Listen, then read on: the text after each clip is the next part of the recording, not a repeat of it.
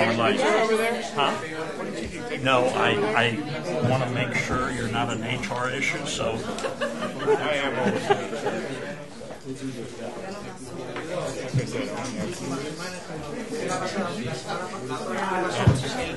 Is Jason coming? Jason?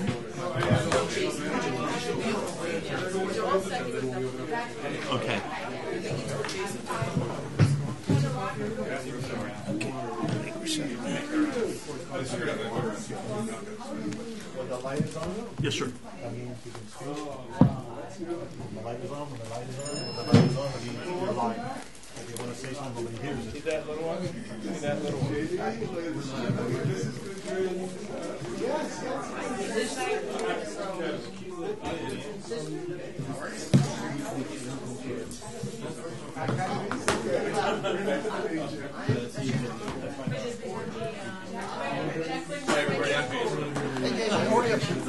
Ha.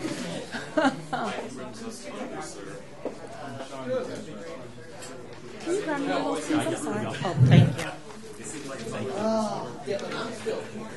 I won't.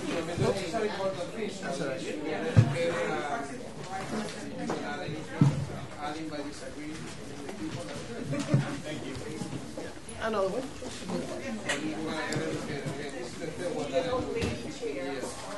You very much.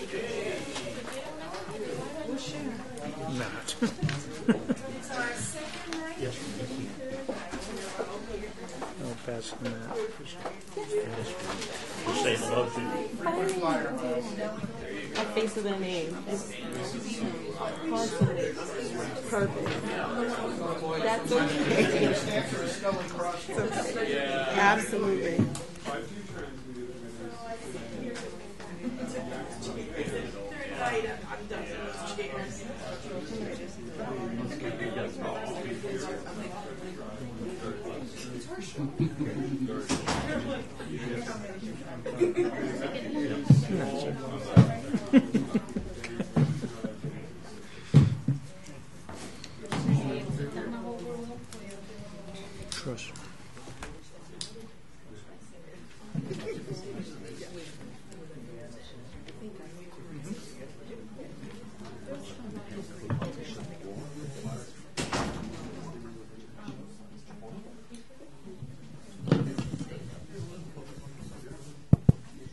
Hello, everyone. Well, thank you so much for coming out tonight. Um, this is something where uh, one of our residents here, uh, Jack Radner, and I had worked on even as a resident, as a candidate, and then also as a commissioner. So I want to be able to thank everybody, not just the residents, those that are tuning in at home, and all of our wonderful representatives, especially Senator Pizzo here. Um, this is something where, again, as I mentioned, as a resident, I worked very closely uh, with the budget board on because this was something that was brought to the residents twice. Uh, we feel as if that now more than ever, we have all the information that we can really be able to provide to our residents how we want to be able to pursue um, the next steps here. It's something where we can't be shooting from the hip on before, like we were just putting numbers on the ballot. And we really feel as if we need to have all the concrete information to provide our residents the best possible solution on how we want to proceed forward on. One thing to take in consideration, obviously, for the fact our location first and foremost, the fact that sea level rise is something that we need to be very considerate of, but this is not always an easy solution because, as you'll find out today, that there are options that we need to take in consideration as to if there are flooding, what is the best way to be able to tackle this? Is this something that's going to provide all the possible, you know, issues that we're dealing with, solutions to that? So always taking that uh, information all into consideration as well. And additionally, um, just overall the aesthetic of our islands, you know, that's something that a lot of people are looking at this as a solution that we can provide here today. And then additionally, we want to make sure the cost is something that we're looking at all the things that will be bearing on our residents for our tax base. So today we'll have all the possible, you know, possible res- representatives to be able to make sure we're assisting in finding those solutions, um, getting all these, um, you know, questions answered. And again, next time before it goes to the residents, know that we have all the information, all the representatives to be able to help gear us in the right direction. So thank you again for everyone tuning in, as well as the residents here and all our wonderful representatives uh, attending tonight. So thank you again. And also thank you to uh, Senator Pizzo and then also our staff for helping to facilitate all that information. So thank you, our, uh, you know, Ralph, for doing that for us. So I'll pass it off to our uh, senator, and we can be able to go from there. Good evening.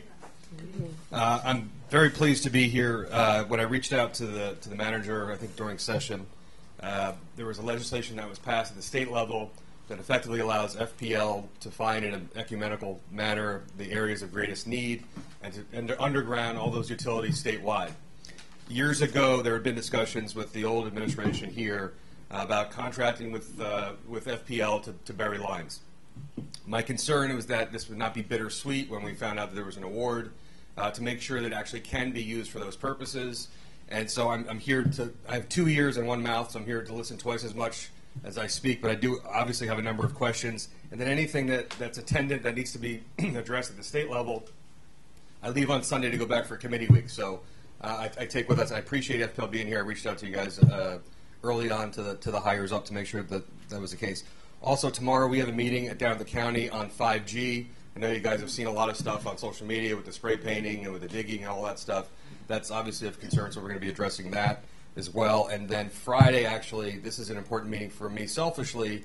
Friday, we have the director of emergency management for Florida coming to our district.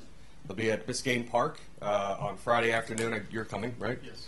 And really, we want them to come to explain how they're, they're intermediary between FEMA and local cities. So if you guys are paying for disaster relief, uh, we have a, a number of cities, obviously in Miami-Dade County, but uh, in particular El Portal and uh, Miami Shores paid several million dollars collectively for disaster recovery, and you know they're, always waiting on FEMA, and very often they have to assume debt uh, to be able to pay for those things. So this all sort of is inextricably intertwined, and um, I just appreciate being here and having everybody here. Thank you. Thank you, Commissioner. Thank you, Senator. Thank you all for being here this evening. This is an important evening in the history of the village uh, because this is an issue that's been discussed for a number of years, and we're hoping to really move this forward in terms of making a decision one way or another.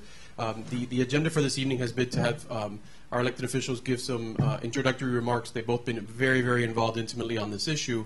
Uh, I'm going to give just a very basic, a one slide uh, PowerPoint uh, regarding this topic, and then I'm going to hand it over to our illustrious Public Works Director, Jose Olivo, sitting straight across from me, who's going to give you a little bit more information on the on the technical aspects of undergrounding. Right. So there's obviously financial aspects, there are aesthetic aspects, there are technical aspects, and he's going to cover that so we get a better sense of what does it mean to underground the utilities.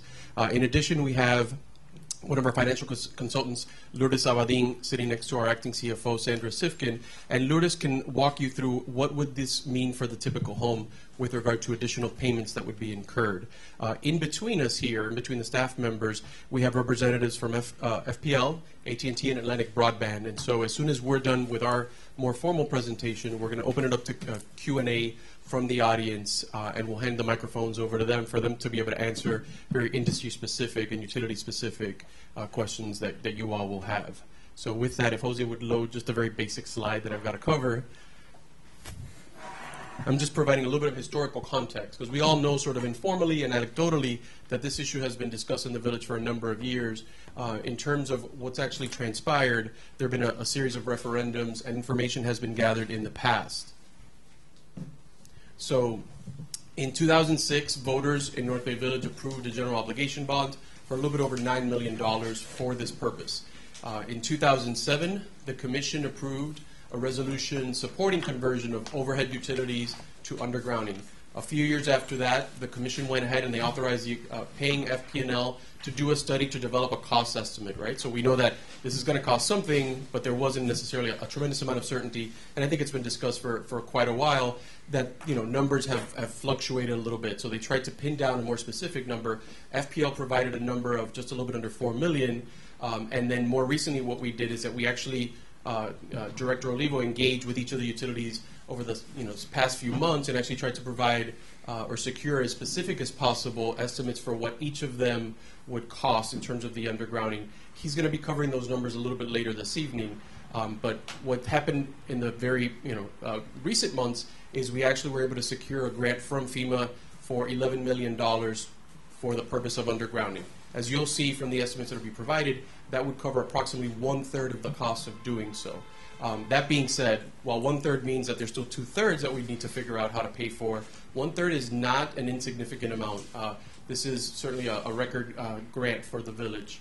Um, the, the grant program itself from FEMA requires a 25% match. Now, the village had done estimates a few years ago that came to a total of $20 million, which we know is actually not sufficient to actually get this done. But that being said, they had, the voters had approved the 9 million. We now have a grant for 11 million. So our grant says that we are in, if we want to move forward, to the tune of $20 million.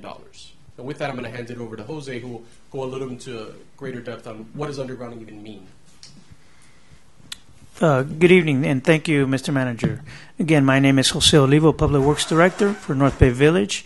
Uh, And again, Commissioner Strout, thank you, and Senator Pizzo, thank you very much, and to the residents of North Bay Village.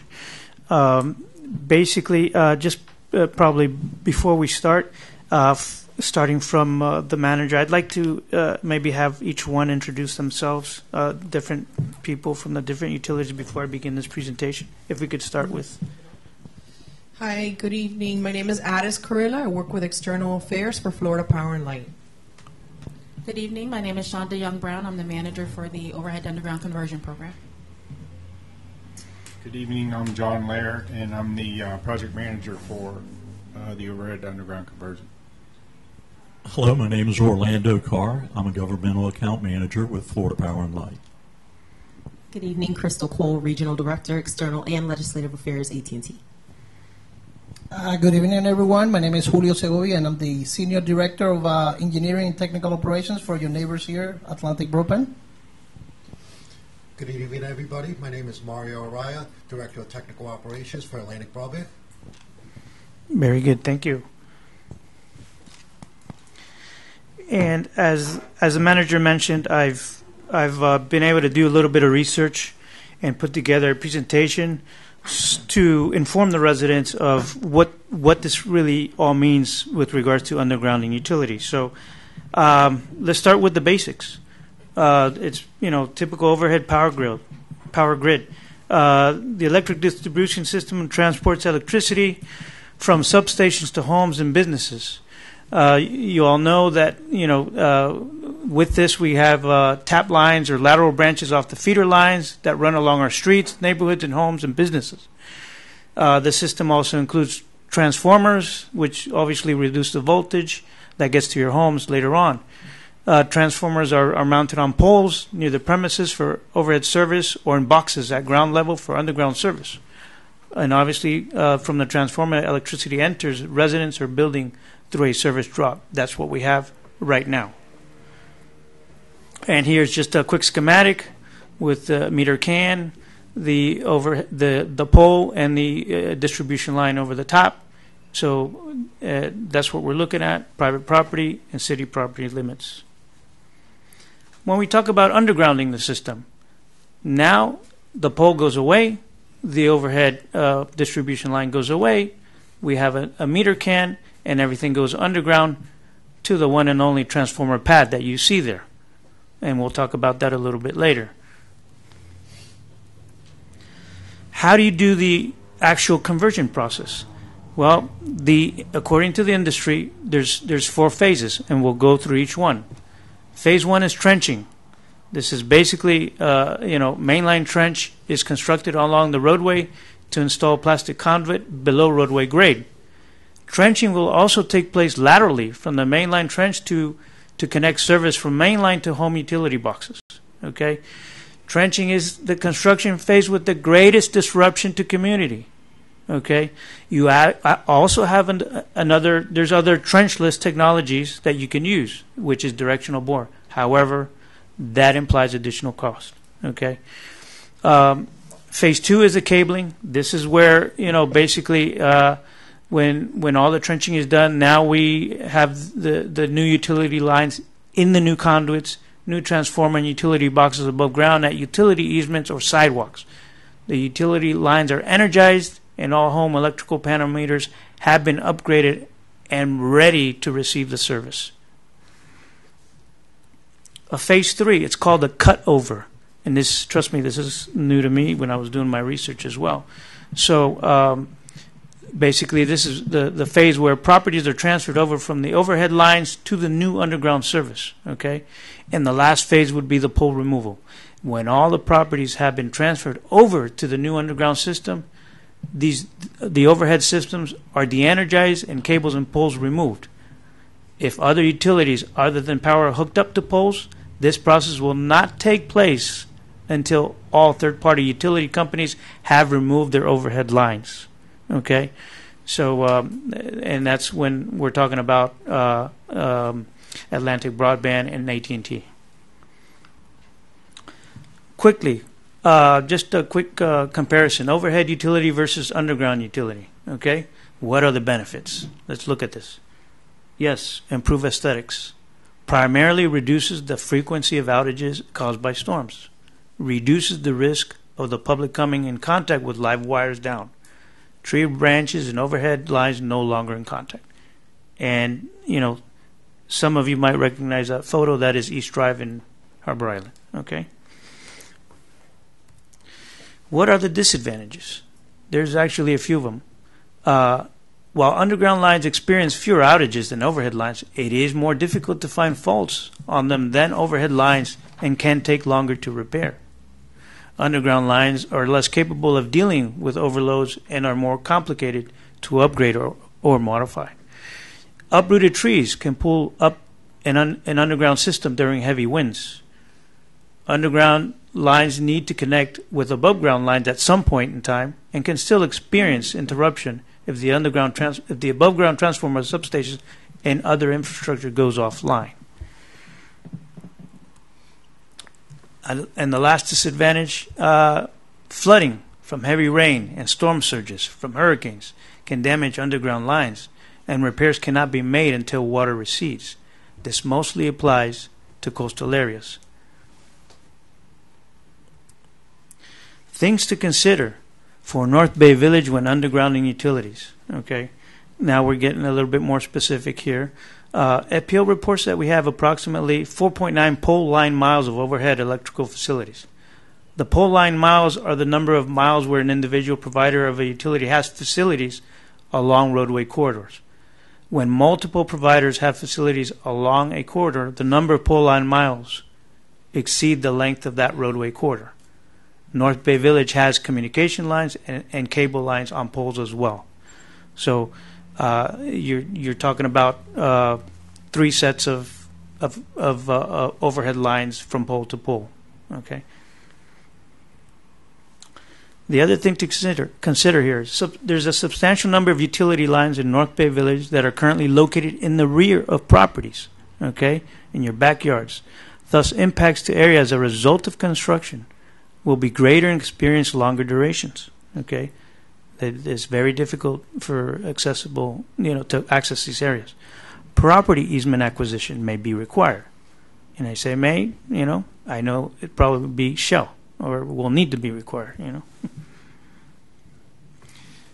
Every other home may eventually have a transformer box located in an easement in front of their homes. You see a couple uh, pictures there depicting the transformer box and and uh, with some landscaping to help with the uh, um, you know obviously to mitigate some of the appearance of the box. And as we continue, things to further consider for North Bay Village: predicted sea level rise, saltwater intrusion. Okay, uh, that can affect the the underground system. Okay, increased probability of underground utility conflicts we have new water mains installed now. We have uh, sewer mains that have been repaired. Okay, um, so the and the other thing that we have there is overhead utility conversion project may take one year to design and a minimum of five years to complete construction with adequate coordination of all agencies involved. And when we say all, we're talking about all three utilities and and permitting agencies that may be involved as well. Okay, so um, and that is just uh, the next one is just a duplication of what I mentioned before. So those to consider, those to be considered in the cost estimation. Okay, so I think uh, obviously the the cost is driven primarily by the total length of overhead utilities undergrounded, and the length of roadways impacted that will need to be trenched and restored. Additional costs such as engineering, permitting, surveying, construction, administration, and legal fees have been accounted for as a percentage of this cost, and you'll see that in the following slides. The opinion of cost is based on utility contractors digging trench and installing the electrical and communications infrastructure and the village performing trench restoration to control the cost and schedule. Okay? Cost for easement acquisition is not included in the estimate you'll soon, you'll soon see. The opinion of cost considers the government adjustment factor waiver, which provides municipalities a credit of 25% towards the otherwise applicable cost of FPL conversion per the FPL tariff. This benefit is a recognition of the avoided storm recovery costs that would otherwise be incurred if such facilities were constructed in an overhead configuration. This savings is passed on to the customer who is making the improvement in accordance with the tariff. However, the discount may not apply entirely if a designated conversion area is not ready to be energized within six months of undergrounding. So, basically, uh, this is a summary of uh, more or less the cost of conversion, okay, for each utility. For FPL, you know, we have a, a load, uh, there's a load to a high range from 16.9 million to 19 million, okay. For Atlantic, Atlantic Broadband, it's 5.4 million to 6.1 million, and for AT&T is 7 million to 7.9 million. So when we add all these up, we're looking at a range between 29.3 million to 33 million dollars to do this job. Okay. In following, this is the detailed breakdown of costs for each utility that I was able to come up with. Um, FPL provided us with their straight conversion cost of 5.219 uh, million. Okay, and I furthermore went into estimating what that would cost, which is pavement milling and resurfacing. You're looking at 2.96 million. Roadway utility trench restoration, assuming we do a th- three foot wide trench, 2.39 million. Private property connection and electrical upgrades. This applies to single family units. Required panel work on private properties to receive underground service plus permits with building department. uh, Two million and sixty thousand dollars. Okay. Um, so you're looking at a subtotal right there of twelve million uh, dollars, six hundred and thirty thousand and change, and then we have the other items, uh, which is basically a percentage of cost of that twelve million dollars, six hundred thirty thousand and change, which we have engineering survey for one point two million, construction administration for two hundred fifty-two thousand and change, construction inspection for six hundred and thirty-one thousand, legal fees at fifty-two thousand, and the FPO credit that I've accounted for. So you're looking at thirteen million dollars, five hundred twenty-four thousand and change. So with that number, what I basically did is um, assume the twenty-five percent contingency over eh, for the for that first year, assuming we we go to five years to finish this job. So the grand total for year one is $16.9 million. In the span of five years, you know, we're looking at the range would be up to $19 million. Okay? So this is FPL alone, and the same process is is done for um, Atlantic Broadband. Okay? Except some of these costs are, are, are not included because we're already accounting for them in the FPL cost. Okay? For example, you're not going to have roadway pavement milling and resurfacing again, okay? And the they they will have a separate three foot wide uh, uh, roadway utility uh, because they're Atlantic Broadband and AT and T, in accordance with my discussions, they're not sharing the same trench with FPL for for for reasons uh, when they have to go in and do any kind of repairs, upgrades. They don't want to damage the other utilities that are that are that might be in the way.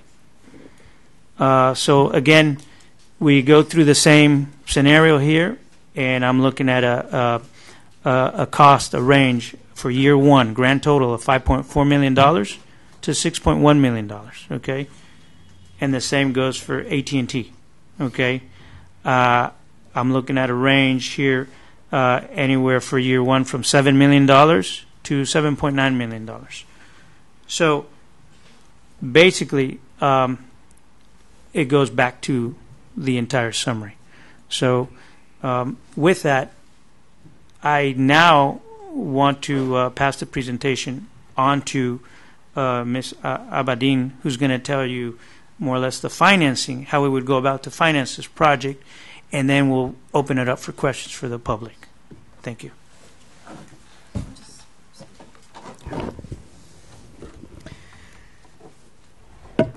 Thank you all for allowing me to um, shed some light as to what does this really mean financially? What is the impact of um, this project to all the homeowners?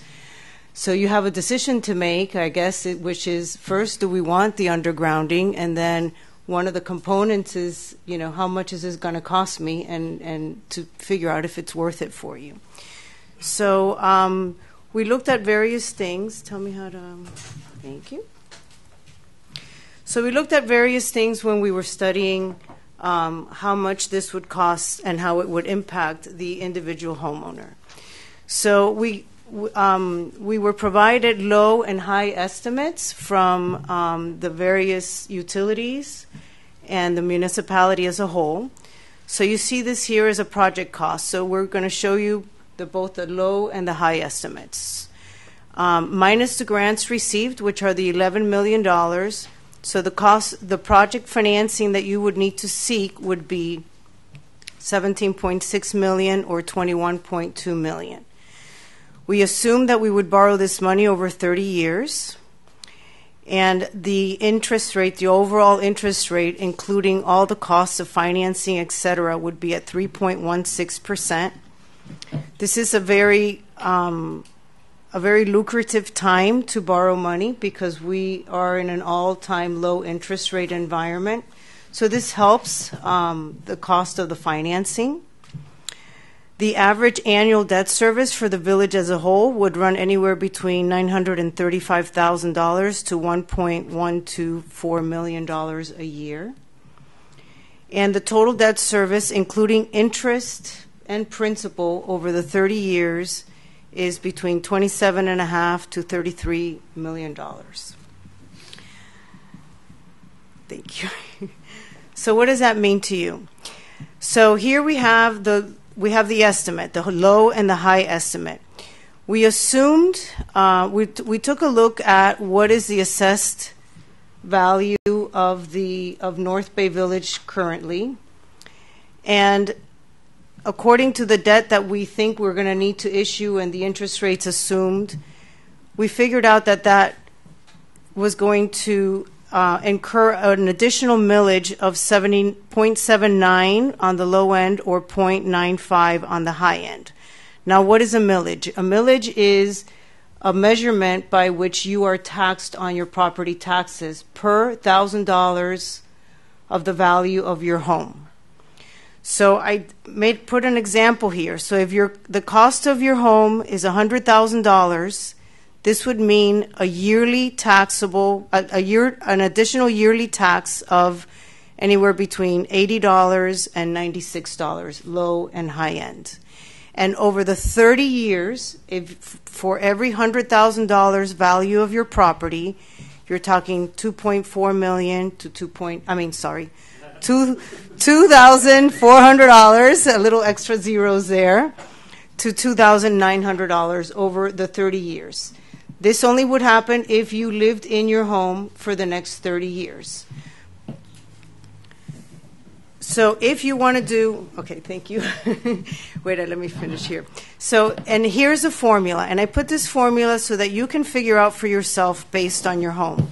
So the formula would be you take the assessed value of your home, you multiply it times this 0.7991 or 0.9585 to get a low or a high value.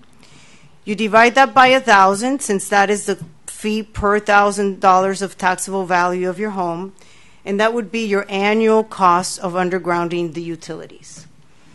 Now, Assessed value is not the same thing as market value. Market value is what you would sell your home for. Assessed value is the value that the county utilizes to impose property taxes on your home. So that includes, for some of you, homestead exemption, veterans exemptions, etc.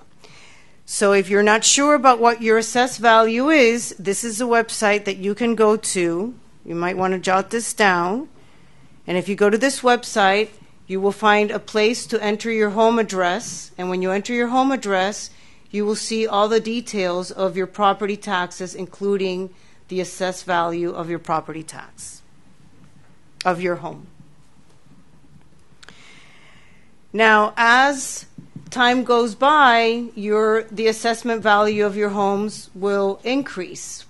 We took a very conservative estimate, and we only assumed that your assessed values would grow at 1% per year. Over the last five years, the lowest growth of assessment values for the village have been almost 5%. So as you can see, this is a very conservative estimate. At the beginning, you're going to be paying the 0.7991 or 0.985 or somewhere in between. But as you the assessed value of your properties increase, that number goes down on an annual basis for the until the year 30 where you see you're now at 0.60 or 0.7277. This is what the property taxes look like for the residents of North Bay Village. So, as you know, the property taxes that you pay are not just for the village. You pay taxes for the county, you pay taxes for the children's trust, the school millage, regional millage, and then the orange portion is what you pay for the municipality. The portion this would ha- this would include if you were to go forward with this project, the yellow portion would be the portion that would be related to the undergrounding of the utilities. So, for this scenario, which we used a $100,000 assessed value, the annual property tax payment, including the electric underground utilities, your whole property tax would be $2,270. That's the low estimate. I keep doing the wrong one. The high estimate would be similar, $2,285 a year. And you can see again the portion that of your taxes that would be related to the undergrounding of the utility.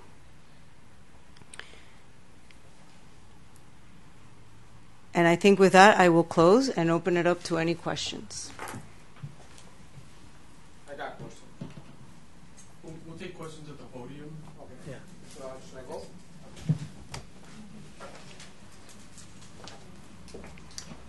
So thank you very much to everyone. Take name and address okay. for the record. Luis Torrego, I live in 7611 Santa Bay Drive. Uh, first of all, thank you very much. Uh, I'm glad that the new administration and the new commissioners were able to develop this thing and give us the opportunity to look at, at a project that I believe is very important. And I have several questions for several people. So the first will be, I hear you saying that, and a lot of people say that the flooding it can damage the underground lines, and also the salt water, especially with the sea level rising, it will damage the lines. Well, they are like underground lines right now that goes all over the oceans, you know, and it's been there for years, for decades, and they last many, many years. So when I see stuff like that, for me, it's like excuses, okay? Because if you do it properly, that thing is going to stay there for a long time, in my opinion.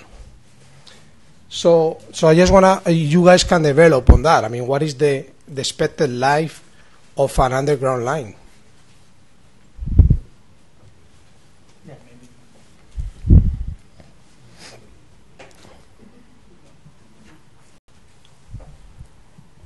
Um, John Lair, Florida Power and Light. Um, that was a great comment. Um, as you can see from the mainland, um, you don't, we don't have any overhead lines. Um, probably the subaqueous cable that's coming across is probably 30 plus years that's in the ground. Um, the way we design our systems, whether it's overhead or underground, um, the equipment should last at least 30 years. And if you do move forward with the underground, Um, all the maintenance and everything would be on FPL, so you would pay that initial up front, and then all the maintenance would be on our side. Okay. So I guess what is most subject to like damage, flooding, for example, will be the transformer because they're gonna be on the street. Um, I wrote it down. Uh, typically, what happens in our underground systems, and the other utilities can say it, um, are dig-ins. When someone doesn't um, call for locates, um, that causes us the most uh, problems when they have a dig-in. Um, with respect to the water and the transformers, um, like you said, I mean, we have the subaqueous crossings that have been in the water forever. Um, regarding the transformers, um, probably after Irma, um, we got a lot of push from probably a lot of the util or a lot of municipalities here from the south, um, and we came up with a um, what we call a storm pad. Uh, our typical transformer uh, is on a six-inch concrete pad, and the transformer sets on that. And in areas that um, the cities deem as flood-prone, um, we now have a 24-inch pad um, that we would put the transformer on top to give that extra um, elevation for, you know, keeping it out of the water. Okay, just to give it everybody on the perspective, I've been living here for 15 years, and I live in Norway Island. And when we got all the hurricanes, I stay in every single hurricane, so I can tell because I went to the street right after in the middle of the storm. We barely get like one, one, two feet. That's it. That's the situation. Many people can Right. speculate. I don't speculate because I live through that. Right. Well, we have um, just to the north of you. We, we actually have a, a city that went one step further, and they actually did an elevation study of the um, the area to convert, and they came back to us and recommended that you know they're going to put in those 24 inch pads in those low areas. So the same option would be for the city here. So that will prevent from flooding and probably will, assuming that the sea level uh, continue to goes up. I mean, it will provide more time for Correct. for additional upgrading. Let me just way. address the uh, flooding. Um, Jose was correct that once the uh, the area is, is flooded, um, FP&L won't um, enter to repair or restore service until the water has receded, and that is basically for overhead and underground. It's not just underground. Okay, so overhead is the same. So Okay. If it's flooded, FPL is not going to be there, even if you have the overhead. The water has to recede in order to get there. Okay, so that's a good point also to point because when I see stuff like that in presentations, and I've been like an advocate for this thing because we voted like long time ago, and when I see stuff like this, it's like mm-hmm. excuses. Mm-hmm. And I live in Norway Island again. I know that some of the in Treasure Island you get flooding and stay there for hours, maybe days. In Norway Island, that thing goes away in hours. After the storm goes, boom, that's it, finished. So just for everybody to also to think about. I don't know about the other islands because uh, I mean, I know Treasure Island because I drove through that after the last hurricane. Okay, and I guess the same thing goes by for AT and T and and the cable company, right? The same. It's the same. Yeah. And I, and I guess with you guys also when the new technology with the G5, so most likely like physical deployment of, of wiring is going to be obsolete in a few years, and we're probably going to get all the communication through G5s instead of like uh, the cable, right? So because I'm thinking maybe looking at that, if I'm looking at, uh, at the right way, I say, I just going to keep the the other two when the technology comes in two, three years or five years. That's it. We don't need it anymore. So we don't need to underground all the utilities. Maybe we just need to underground the power. That's an idea. You know, thinking about how the technology is moving. That may be an, that may be something that may happen. No, I don't think you have to wait five years. I think I know. Nicole can tell you that they'd like to. Probably for ten million dollars you now. like G, probably for ten million dollars you can deploy deploy G5 in Norway village that even the pen, Pentagon will not have it. But anyway, that's, those are ideas. You know, you have to think about that way, in my opinion. Okay, I got more questions. Sorry. Okay. Also, what is I know that you mentioned like five years, the project itself. Five years is also considering the five miles Uh, or, for example, if we decide just to underground certain areas of the city, will that be also five years because of the coordination, or, or it may be a shorter time?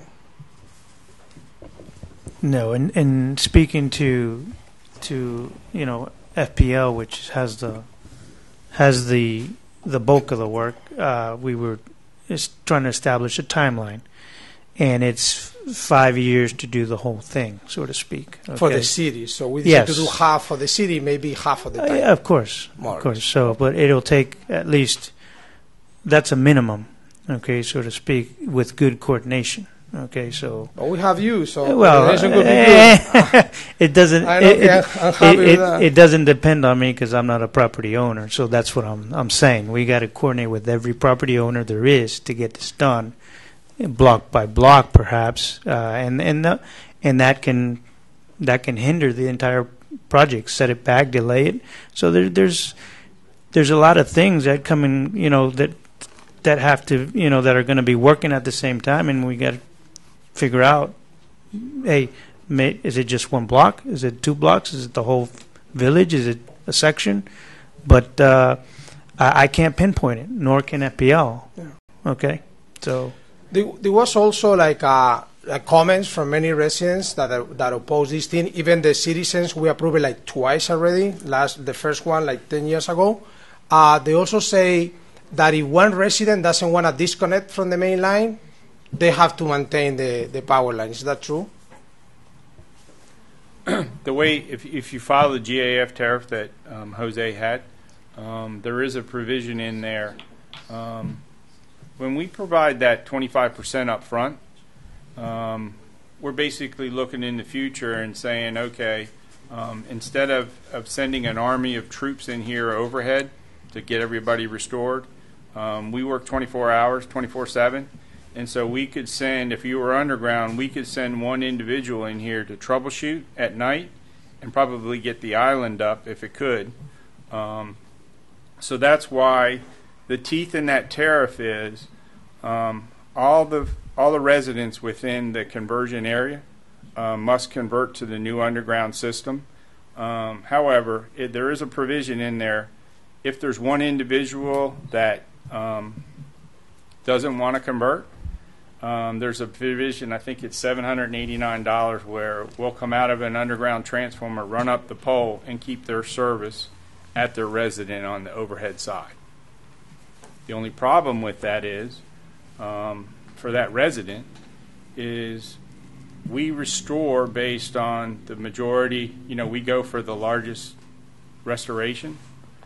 If that one individual is the only one in the community that hasn't, you know, gone underground and is out of power, we can almost guarantee they're going to be out for the till the, the last day of the restoration. And they, he probably deserve it, or she. Yeah.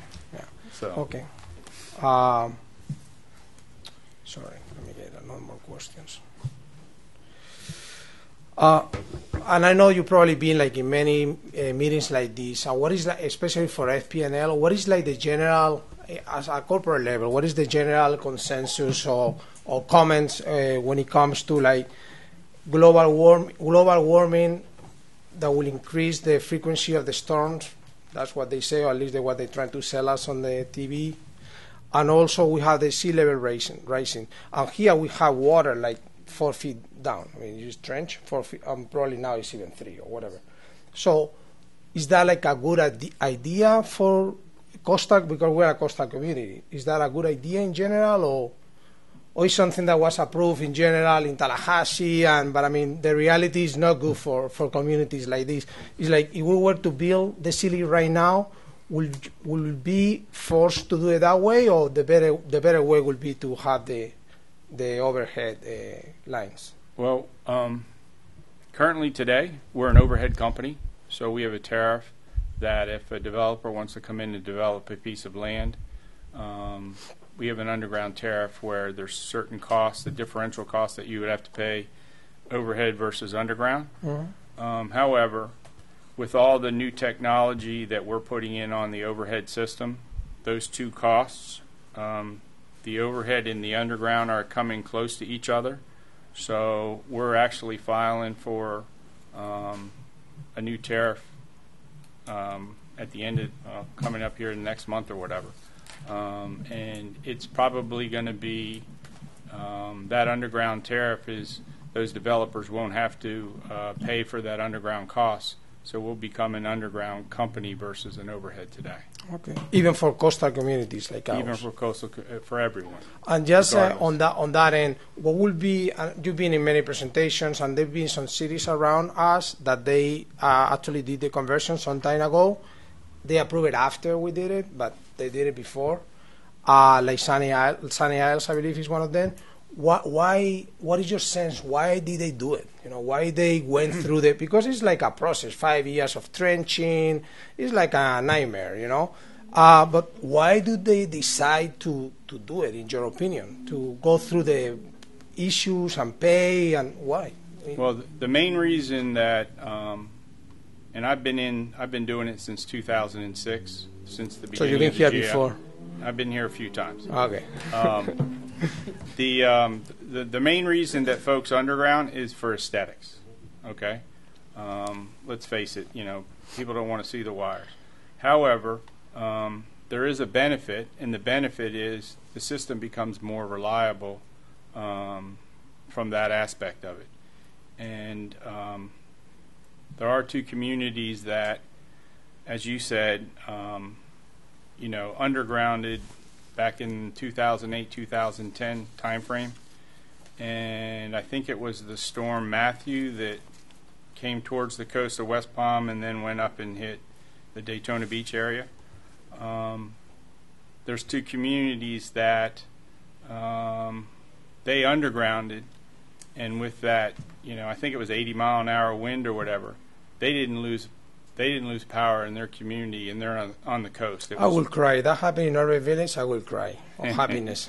Um, there's actually uh, that would be Jupiter Inlet Colony and Jupiter Island to the north. So basically, just for everybody that is because you cannot imagine how many how many people like no because of this or this or this. So generally speaking, the system is more stable and most likely we're gonna have a better, a, a, we're gonna have a more stable system. And when the flooding, and it's really nice that what you said because I didn't know. It really doesn't matter if it's flooded. You're not gonna fix either the under, underground or the overhead. So overall, the system is gonna be better. So now I want to go to the finance. I'm okay with that. Now with the finance, because when you, I'm, I'm going to pick out your last line, lane, uh, line, and the line was because people don't want to see the power lines. Well, like people want to have a nice phone, a nice car, the design. So ugliness brings cheaper, brings uh, value properties down. So it's nicer. People are willing to pay more money for the house. I mean, I'm surprised. Like where I live, like they pay like a million dollars, and you get out and you see like a, like you know, the trash can hanging. It's like you know, I put like plenty of street that I don't see it. But uh, but the reality does bring me now to the finance. How much was like the financing cost right now? Probably cheaper right now because the Fed lowered the interest rate 25 basis points, so probably that will go lower a little bit. Uh, and most likely, since we get into a recession, we even get like lower interest rate going forward in the next year or two years. But that's not my question. That's a reality. How much was the cost for something like this, like 10, 15 years ago? Probably the cost of undergrounding was cheaper, but the cost of financing was more expensive. But please keep in mind that municipal bonds are not priced off the Fed funds rate. I know, but They are priced off the uh, municipal market. Yeah, but, but it, everything is related. I also do finance. So everything is related. Interest goes down, mortgages go down, corporate financing goes down. Then you pay 6% for bonds of a crappy company that before you were asking like 12%. But in general, it was cheaper, even though now it's more expensive, but it's cheaper. So at the end of the day, when you consider this, you don't consider the cost. You consider the cost and the financing costs associated. So we're getting a break right now. So anybody knows what is like the assess, the assess, the average or the median assessed value of uh, the homes in, in the island? Two hundred and seventy-nine thousand. So let's say three hundred thousand dollars. So you're saying basically on your calculation that if we go through this nightmare, our taxes are going to go up for like $95 for every $100,000. For The high end. or the high end will be, let's go crazy, a hundred bucks a year. Uh, for three hundred thousand dollars of a home, so you'll have to spend three hundred dollars a year. So around twenty-five bucks a month. So assuming that you are a financial person, so assuming that your home in the next five years, let's assume five years. So you do all this stuff, and you spend $300, $300, $300 a year by five years, $1,500. So assuming that your home, because the look, city looks better, you have you don't see that crappy lines, and now they're gonna repay because this is also important. When we do this thing, then we have brand new streets. So assuming we do all of these things, if your home goes up for like five thousand dollars, it's a killing. You're making it's a great investment. You invest three hundred dollars a year, and then five years down the road, you make five thousand dollars. I'm willing to invest on that stuff. So that's uh, more or less. It makes sense what I'm saying, right? More or less, no. That's From the crystal number ball point of view. material. from the po- from the co- from the financing point of view, and let me see. so that's my comment. I know a lot of people are going to be blah blah blah blah blah, like we've been having for ten years. Their turn. Thank, thank you very much to everyone.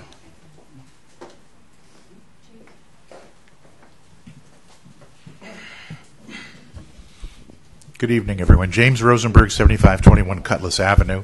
Uh, that gentleman lives on North Bay Island. I live on Treasure Island, and the experience in terms of flooding is quite a bit different. We have seen instances where we've had a couple of feet of water standing in the street for an extended period of time. And uh, yeah, there's no question that the water table is just beneath the surface. We, so, we, you know, perhaps we presently have a more dire resiliency issue on Treasure Island than North Bay Island, although really it's just a matter of opinion. My bigger issue is that having been involved uh, for many years in dealing with um, government related capital improvement projects of large scale, my concern is that although we've got a range of cost that has been established, and it's not insignificant even with these estimates. Um, more often than not, as time passes and we discover things as we start digging, these estimates prove to be untrue, and additional things come to light, and the costs tend to increase. So, my fear is that although these are the best estimates that you can provide today, I don't feel at all comfortable that these estimates will hold true over the long term. And um, the $33 million high end could easily turn into a $50 million high end. Um, we've seen instances of things like this happening before, and it's not because anyone has is doing anything incorrectly. It's it's what we don't know, and it's you know, and there usually are clauses built into contracts for unforeseen conditions, right? And that often leads to cost escalation. So my concern is these numbers are probably not going to be as reliable as we would like them to be. So I think that the costs that you're projecting for the typical household are likely to be uh, higher in the end. And, uh, and let's take it a step further. We've just put a lot of effort and, and time into going through a very detailed resiliency exercise here, right? I and although I must say that I had been a proponent of, of going underground with the lines, I don't quite feel the same way anymore. And I'm more concerned about doing something like this only to turn around and find that we we probably should have coupled it with our efforts to take care of the resiliency problem. You know, we see all the everything behind us here that calls for the need to elevate all of these structures. And that involves a tremendous amount of infrastructure. It seems to me that it would make a lot more sense to couple this underground, or shall I say, non overhead utility effort with that because that's ideally situated to deal with the sea level rise issue. Um, and let's face it, folks, we have been very fortunate not to have been hit by the type of hurricane that can easily put us six feet, eight feet underwater. Um, it could happen. It, we've just been very lucky that it hasn't. And it, even going from a six inch concrete pad to a 24 inch concrete pad, you know, it provides a little bit of relief, but it's not even anything close to a longer term solution. And if we're going to spend this kind of money, I just think that we need to think longer term because it's a tremendous effort that's going to be required. It's going to be highly inconvenient. And the inconvenience is only worth it if we're going to end up with a true solution that benefits everyone. And there are other things involved too. Uh, on Treasure Island, you have easements for the for all the lines that are in the rear of the property. Um, that's not just a matter of inconvenience. That's a structural issue for some of us too. Uh, you know, because in some instances we've built things like patios and pools that are rather close to the easement line. And, and even though those things may not be permitted if you were to build them new today, they're there. And so what's going to happen? You're going to have to bring heavy equipment in there to dig up all this stuff. And not only do you want one three foot trench, you now want two three foot trenches. Boom, you're now into my swimming pool. So I don't see that as a viable solution either. Thanks, Jack. But any anyway, so all I'm suggesting to you is is it a good idea? Yes, but. And the big but is we've got to take care of this resiliency issue before we think about potentially sinking $50 million or so into this project because I think that's where we're likely to be. Let me give you a perfect e- example of what happens with escalation. Um, I don't know if you followed the numbers that the county has had to deal with in terms of, of repairing and remediating problems with its water and sewer system. Those numbers have gone incredibly higher. And, you know, it's not that anyone has done anything bad. It's just that once you get started, there are so many things that haven't been considered that I think that I have. I'm just urging everyone to be extremely cautious about this. Thank you very much. I'll make one comment. Um, with with reference to the undergrounding, um, moving forward, everything would be would be moved to the front. So, in some cases, um, some cities abandon that easement in the rear up. So all the utilities would be placed in the front. Jack Ratner, 7611 Beachview Drive. Coincidentally, the same 7611 just on the water side as the gentleman who spoke first, who's in the center of North Bay Island. Uh, I've lived there for almost 50 years. Like a lot of a lot of homeowners and residents here, uh, their homes are very old. Um, they haven't been updated. I know some neighbors still have the old panels in the fuse panels in their house with the screw fuses. Um, I'm fortunate. I already have underground utilities, as all the homes do on the water on North Bay Island. Uh, but those are connected with a handhole box uh, between the two properties in the easement, which currently, unless something has changed, and my, that's my question, um, you, unless you get permission from the city for the easement to put the transformers in the easement, they have to go on the private property. Is that correct? I mean, that's from the FPL website. That's why I ask.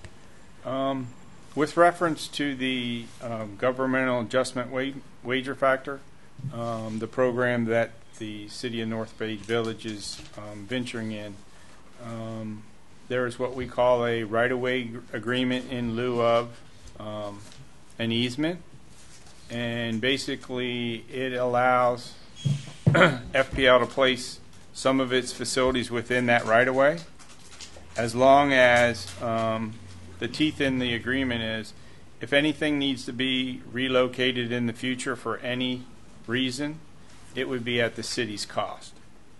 So, uh, okay, because typically, as you, as you have on the FPL website. the- Correct. The property use agreements, uh, you like to have, be able to put it on the owner's properties. Correct. And you want that unanimous when you can get it, like, for instance, Treasure Island, where Mr. Rosenberg lives, the right-of-way ends at the inside edge of the sidewalk, then it is all homeowners' property. It's private property, and I know the, the engineering that was done the first time around was calling for all the undergrounding to go through everyone's private property on the front yards. Anyone, correct me if I'm wrong, that said no to that, and then you, and you can make a stable uh, grid, has to then go out into the street Correct. uh, to bypass, which of Correct. course then we lose the tariff discount and it gets more expensive to all those homes c- that we have to go around because everyone on Treasure Island, it's all going to be trenched through the private property. Again, um, we're trying to encourage the undergrounding, so that's why we came up with that right-of-way agreement. It was basically after the 2004, 2005 storm seasons um, that we heard two things from the cities or the municipalities.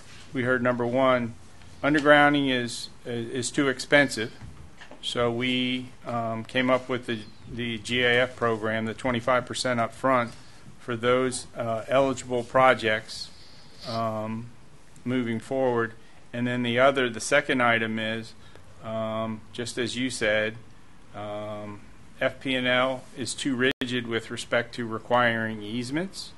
So in order to encourage um, these cities to try and do more of undergrounding um, for the city projects um, under this program, they're they're able to to uh, sign this right of way agreement that allows us to place some of the facilities within that right of way in lieu of an easement. All right, what I, what we all, and thank you, what we keep talking about, and thank you, Commissioner Strout, we worked on this for a couple of years to no avail, because this, this is an old project. As Luis Torrego said, uh, this has been going on since just after Wilma, uh, Oh, 05. 05, and that's Yeah. when this all started in 2004, 06. 05, right. Um, seawalls, everything else that uh, w- Mm-hmm. was a disaster, particularly on West Treasure Drive, all the people that lost seawalls. Everyone else, like me, we're faced with that now. Uh,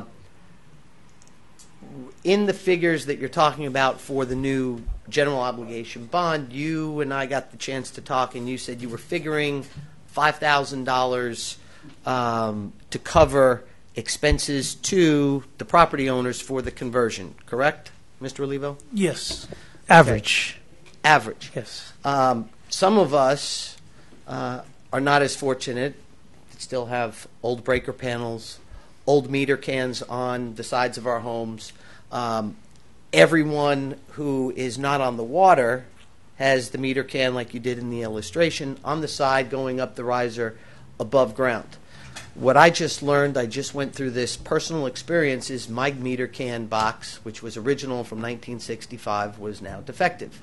Had to be replaced.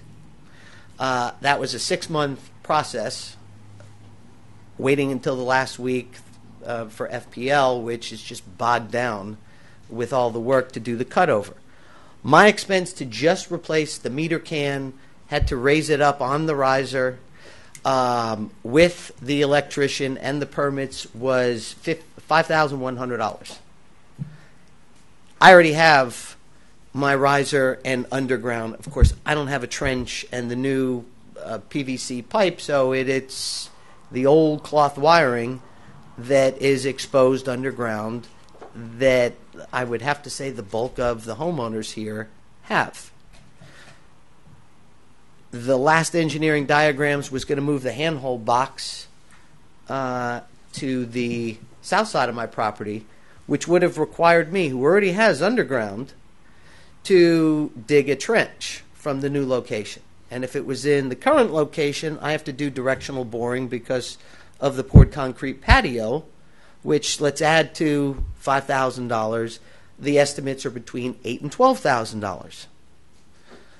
That's to the homeowner. What everyone has to understand when we're talking about these 30 million and GO bonds, $5,000 is all that the GO bond is going to cover for the homeowner who is going to be financially responsible to do all of the trenching at their home. They are every homeowner here is going to have to put in to code the new meter can box with the shutoffs outside, which is important uh, in, in the event that fire department has to cut off the power to your house. Got to have it. Um, beyond that, I then learned from code enforcement as we were going through this. When you're replacing the old meter can and you have the old cloth wiring to your house, going into the electrical, and if anyone, and John, you seem to, you've been dealing with this the longest with us, the old cloth wiring from the meter can outside to the breaker panels, code enforcement says now you've got to replace that. Correct. Electrician, that's an added cost. Oh, you're going to an old breaker panel. That old breaker panel needs to be up to code because you're changing the connection from the meter can. You have to replace that with a new panel to code. Uh, I was then told that the wiring that goes from the new breaker panel is old wiring and it's only single pole, so I got to pull extra extra wiring from the panels and to the sub panels. Well, most of us with the old homes, that means there is no conduits for the old homes built prior to, I'd say, the early 80s. They're all, it's all stapled up in your rafters. So there's no conduit. I got to pull apart my ceilings to be able to put in new wiring to every outlet, every switch, every light. Um, for me, and for most homeowners here, you start getting into, and I've gotten the estimates from electricians, uh, uh, renovators. We're up into over $100,000 if I were to have to bring my home up to code. Wow. That's my home, and my home was built in 65. I can't imagine the homes that were built before that. But everyone, you know, we keep talking about it. Would it be wonderful to not lose power as we do on North Bay Island? I don't know about Treasure Island. The wind blows, we lose power. Uh, uh, just recently, we lost power. There was no storm. It was, and I don't know if, if this affected my neighbor here.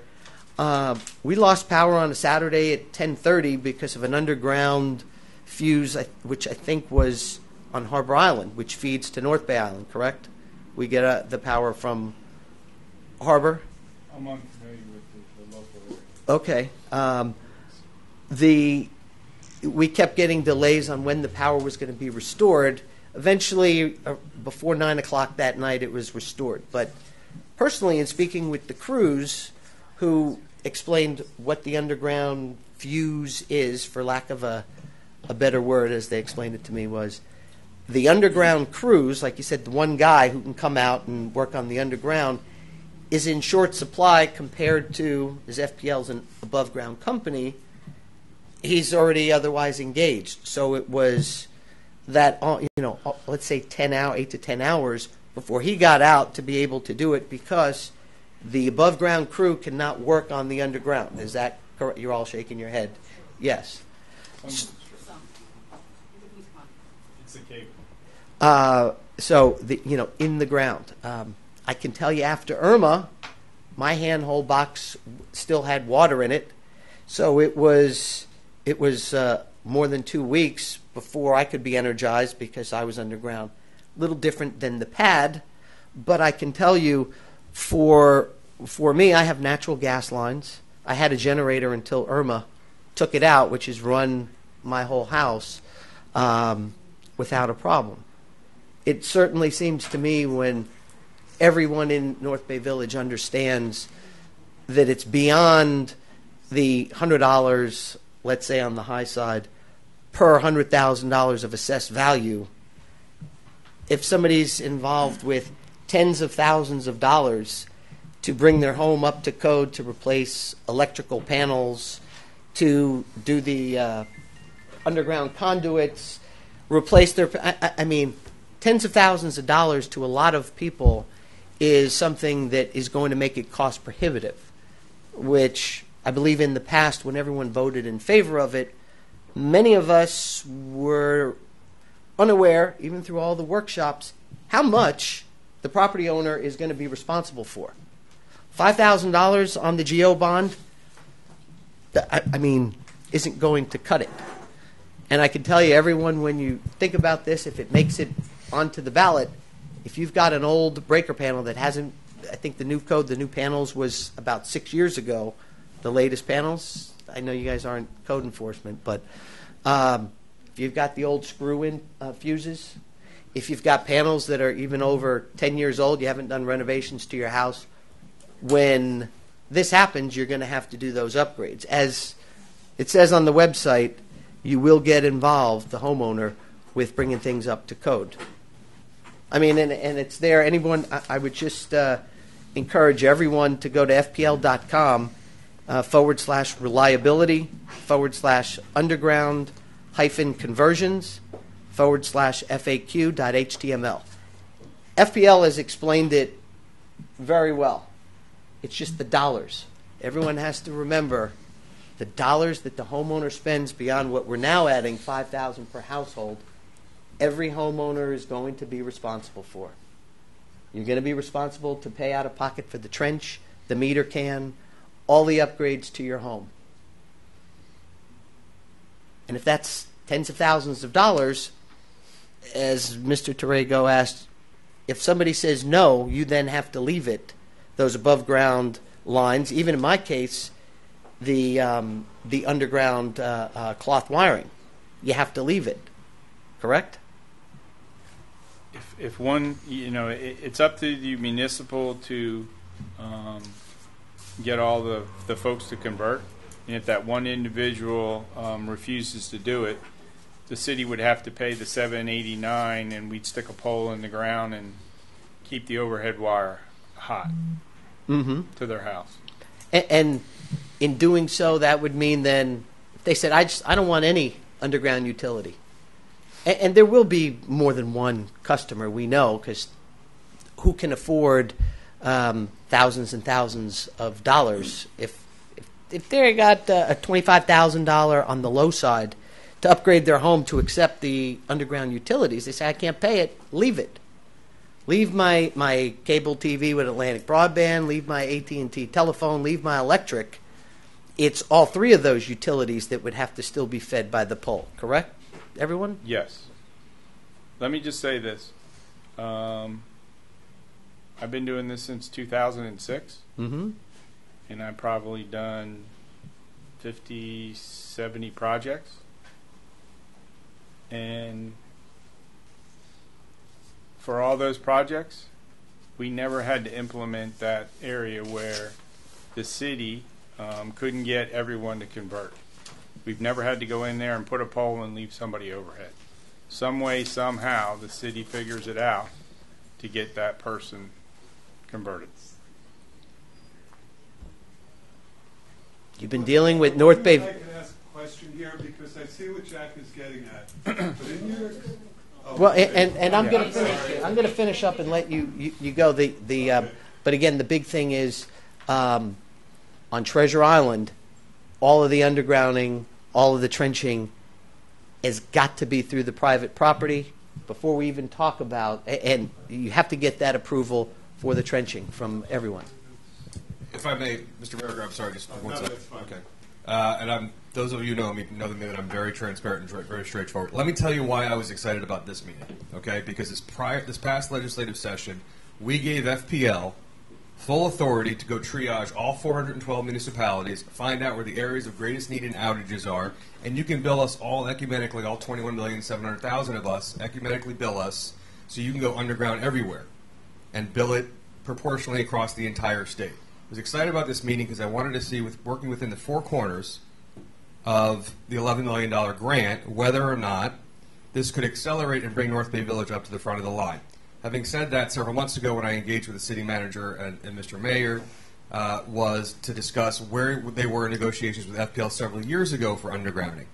And this $11 million in anticipation, coupling with what is soon to be, I know it has to go through rulemaking, coupled with your ability to find areas of greatest need and triage. If you tell me Panama City is the, the worst area in, in, of all 412, followed by uh, West Palm Beach, followed by North Bay Village is number three on the list. Whether or not someone's going to lose their place in the, in the list or not have to pay if you're able to put North Bay Village on the list. I don't agree with the finances. I wouldn't pay that. That's out of control. However, I would pay for a single family house if he really told me there was a guaranteed maximum price of $2,875 to go from overhead to underground, I'd pay it. Because I think if I went to go sell my house one day and someone had the option between house A overhead and house B underground, hopefully the lights are on the day that the broker's showing the house and I would pay the 2,875. But Mr. Ratner's right about basically a guaranteed maximum price. And I know you guys do guaranteed maximum price, right? On contracts? Never? Never. That's got to change. That's something that I need to see that, that we definitely change. So you can guarantee a maximum price. The tariff that they're talking about. Um, It's for underground. Right, it's for underground. However, um, let's just say we give them a, a price of a million bucks. The, the tariff allows us to go, after the project is built, we're allowed to get, uh, go back and ask for ten percent more. Understood. But you, you understand this last session that we all voted on was to allow you to go underground all of Mexico Beach, and actually North Bay Village, North Bay Village residents are paying for that in their monthly bill. You understand that, right? Well, we don't handle Mexico Beach. Okay. but, uh, yes, yes. Okay. I just want to be clear about, about this point that there, there may come a time, it may not be conveniently tomorrow, Correct. next year, or 15 years from now, but at some point, FPL actually will put all of this in for free, correct? At some point in the future, all 412 municipalities will have FPL undergrounding at no cost. If the homeowners want the easement, so they still have to grant. Sure, I just want that question answered. So homeowners still have to grant easements. So that still doesn't address the easement question because if the homeowner says no, then, for example, we have a pilot today that we have modeled after what we anticipate the, um, the, the rulemaking will model for the, the priority. And today, when we approach that, um, those neighborhoods of need, if there's 70 homeowners on that lateral. Did you say uh, uh, uh, home, um, homeowners of mean? No, Need. need. Need. Need. So, so based on reliability, Yeah. we approach that neighborhood, and if it's 70 homeowners, and one homeowner says, no, I'm not going to give you an easement, then FPL has to move on. So we will not underground if we can't get the easements. So that's, that's one particular point that we need to, I mean, You need 100%, you need 100% acquiescence in order to underground any project area. That's Under the current we, pi- we, pilot we project. modeled the pilot based on what we anticipate the rulemaking rules to be. So we don't know what the rules are at this point. At the same time, that's only FPL. So the other utilities can remain on the poles, and the poles will stay. Sure, I'm, I'm Right. specifically talking about, I just want to take this just piece by Okay. piece. And I don't mean, I don't need any disrespect, I just spent so many hundreds of hours on all this stuff between Tallahassee and here. At some point in the future, between, at, some point in the future, between October 30th, 2019, and when my sons are sending me checks because they have jobs 30 years from now, FPL, based on the legislation that was passed, is actually going to, and I, I don't mean to say at no cost because we're all going to bear the cost, but your next undergrounding project, the way that it's scheduled with what just passed last session, is that the residents of Mexico Beach may get undergrounding, and a couple pennies are going to be added to everybody's FPL bill here in Miami-Dade County to pay for that project, because at some point, as you go down the line of triage and the list of all municipalities in Florida, we're going to get around to your city too, where you don't have to pay for it. That's what I voted Right, for. right. That's why I'm asking the question every So- year that I vote for. Right, but the rules don't say it's one city at a time. It may be one circuit at a time. So, it, so over over a 30, 40, 50 year time period, there is an opportunity that if we underground, we can seek recovery. That's what it says. So let me go back to just real quick. I Mr. Renner, I'm sorry, I didn't mean to cut you No, off. no, I'm- So what I'm excited about was was listen, if we have this, that train's left the station and FPL can start doing underground projects, and we can get utility companies like AT and T to maybe consider uh, co-locating and not cost North Bay Village another two point nine million dollars.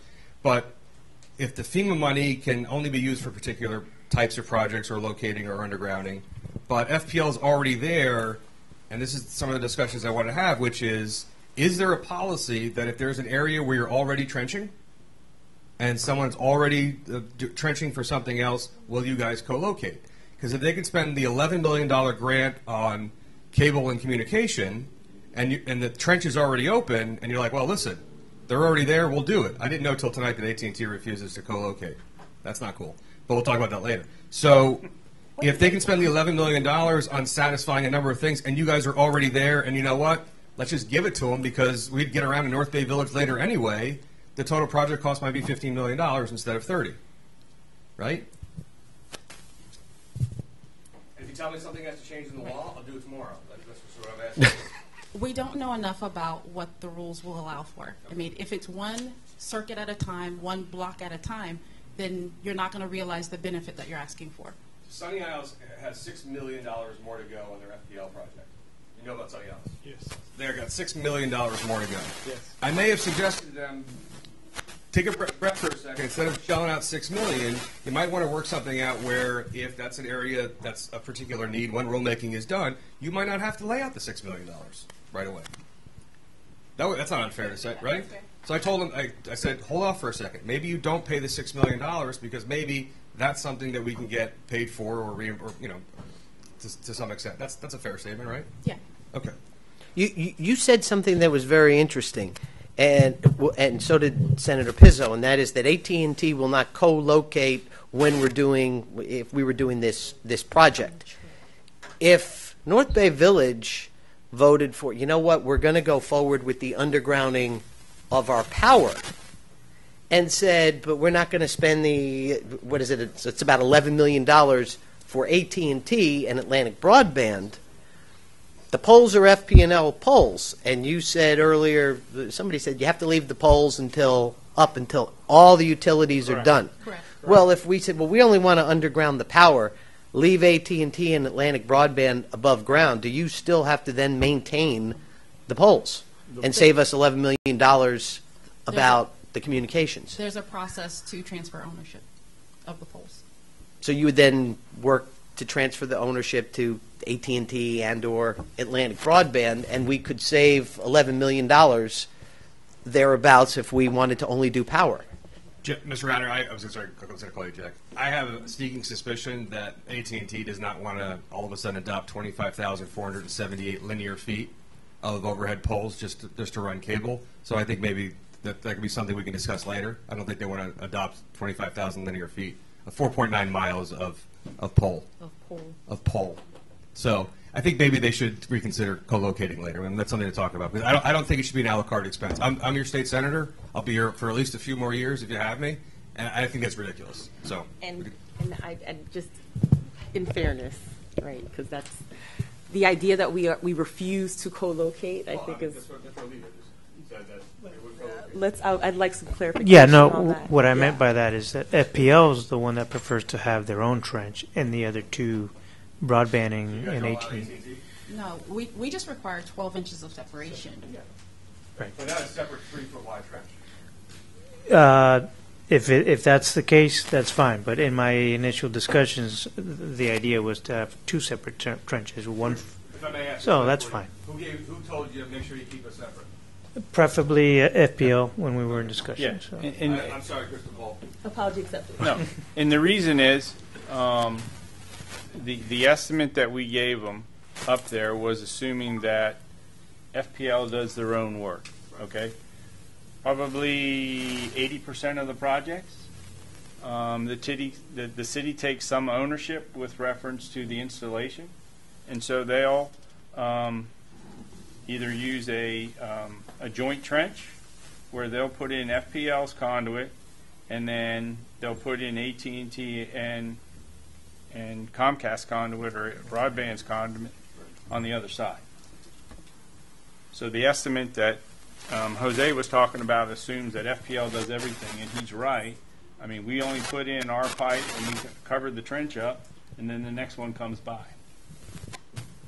That just extends the length of the project. Hmm.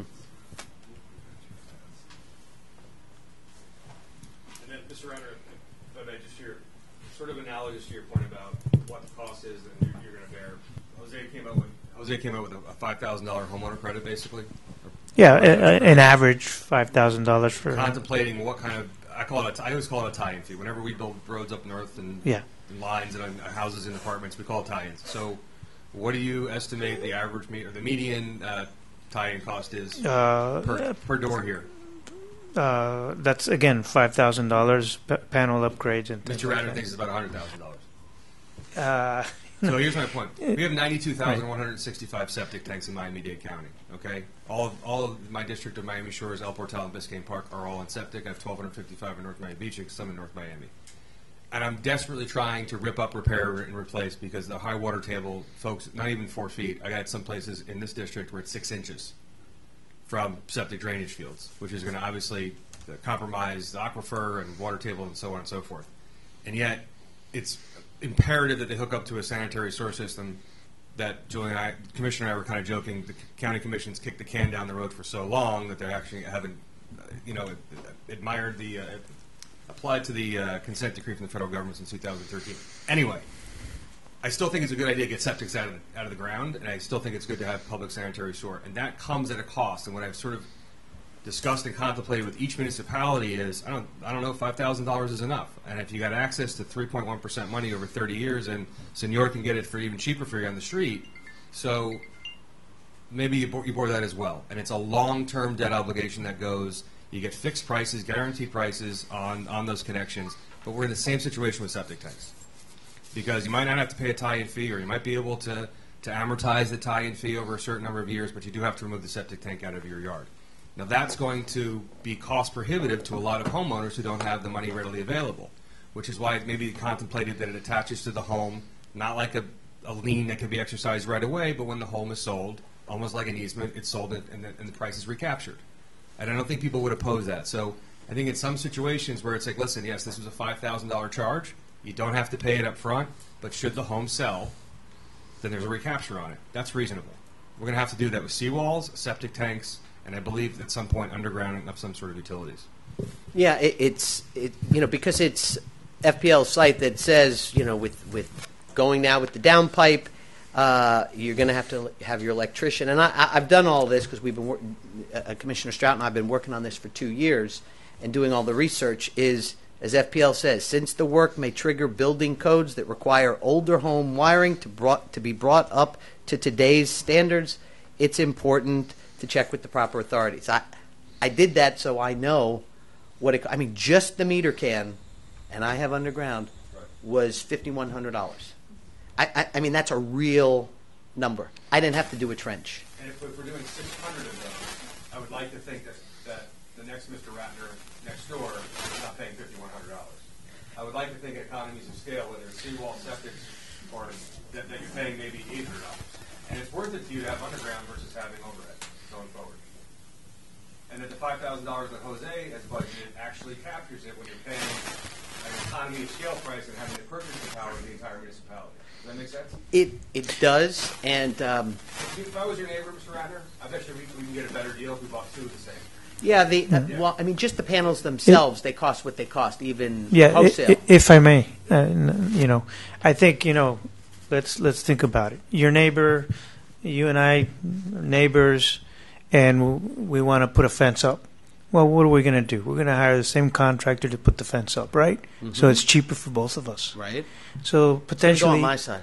It- the pretty side on your side. How's Okay. that? So the same thing would would happen with you know the different uh, you know upgrades that you you you may have. Some houses do, some houses don't. So you you know the city would would definitely see seek a a bid for an electrical subcontractor that you know would definitely uh, help every resident and say this is the scope. You're gonna you're gonna make money on some. You're not gonna make money on others. So here's your opportunity. And and I think uh, maybe the average price is not five thousand. Maybe it's lower. Maybe it's not. Maybe it is ten thousand. I mean, so, maybe it is homes- twenty thousand. Some homes, So- you know, Mr. Torrejo's lucky. His home He, he's, I know he's, he's I told us in spent the the past. money to upgrade it because I, I wasn't going to sleep with the With the old panels. textile uh, wiring. Right. With, with the old, pa- so there, there are homes that won't need anything, but they're all still going Right. to need a trench and the pipes and, Yes. and the, the connections. Okay. That, and I appreciate the uh, the residents, you know, bringing up these concerns. There are multiple projects we have to take in consideration, not just the one that we're discussing here right now. And I think it's important just to consider the projects that have already been approved and are coming down the pipeline, because North Bay Village is a freight train right now. We have the paving that people have been anticipating and wanting, and, and you know, waiting for that to happen. Understanding that if they want to be able to have this approved, this is not something that can be decided today. This is something that we have to be able to still put back on the ballot. And I remember bringing this up, I believe, in the June commission meeting. So you have a primary coming up in, in March, we could be able to do it. So we had to make the decision for this to happen soon in December. You know, we have our November commission meeting and in December. So these are a lot of things that if you do want to be able to move on this, and I'm talking to the residents here and then also anybody, please reach out to us if this is something you have an interest in. But understand that my concern, and I can see both sides of this, it's the cost that I'll be bearing on the residents. And I get concerned because we have a very complex and diverse population in North Bay Village. Not everybody can be able to just come up with even just $500 if there was a bill that was to be able to come up, and we need to be mindful of that. I feel as if that yes, there are particular issues that each island deals with that are unique to their island. I know that Treasure Island deals with flooding significantly more than what North Bay Island would deal with, and we have to be mindful of that. Just look at what happened with the current project that we've just been dealing with right now. How long it took how, how many issues that we dealt with in regards to the concerns with the residents we're dealing with, individual based with private and public easement as well. Understanding that not everyone was also understanding the communication that was going about with those processes and dealing with the contractors to make sure that everybody understood what was happening. You're dealing with three entities that we had to be mindful of and communicating that to the residents. And, you know, as our senator mentioned, beyond being able to do underground utilities, there are other additional expenses, especially with resiliency, that we need to be able to be considerate of. If you have a property that is on the water, your seawall may have to be you know, rise as well. So that's an additional cost for you too. We have to look at everything in a full scope and understand everything that's already been approved.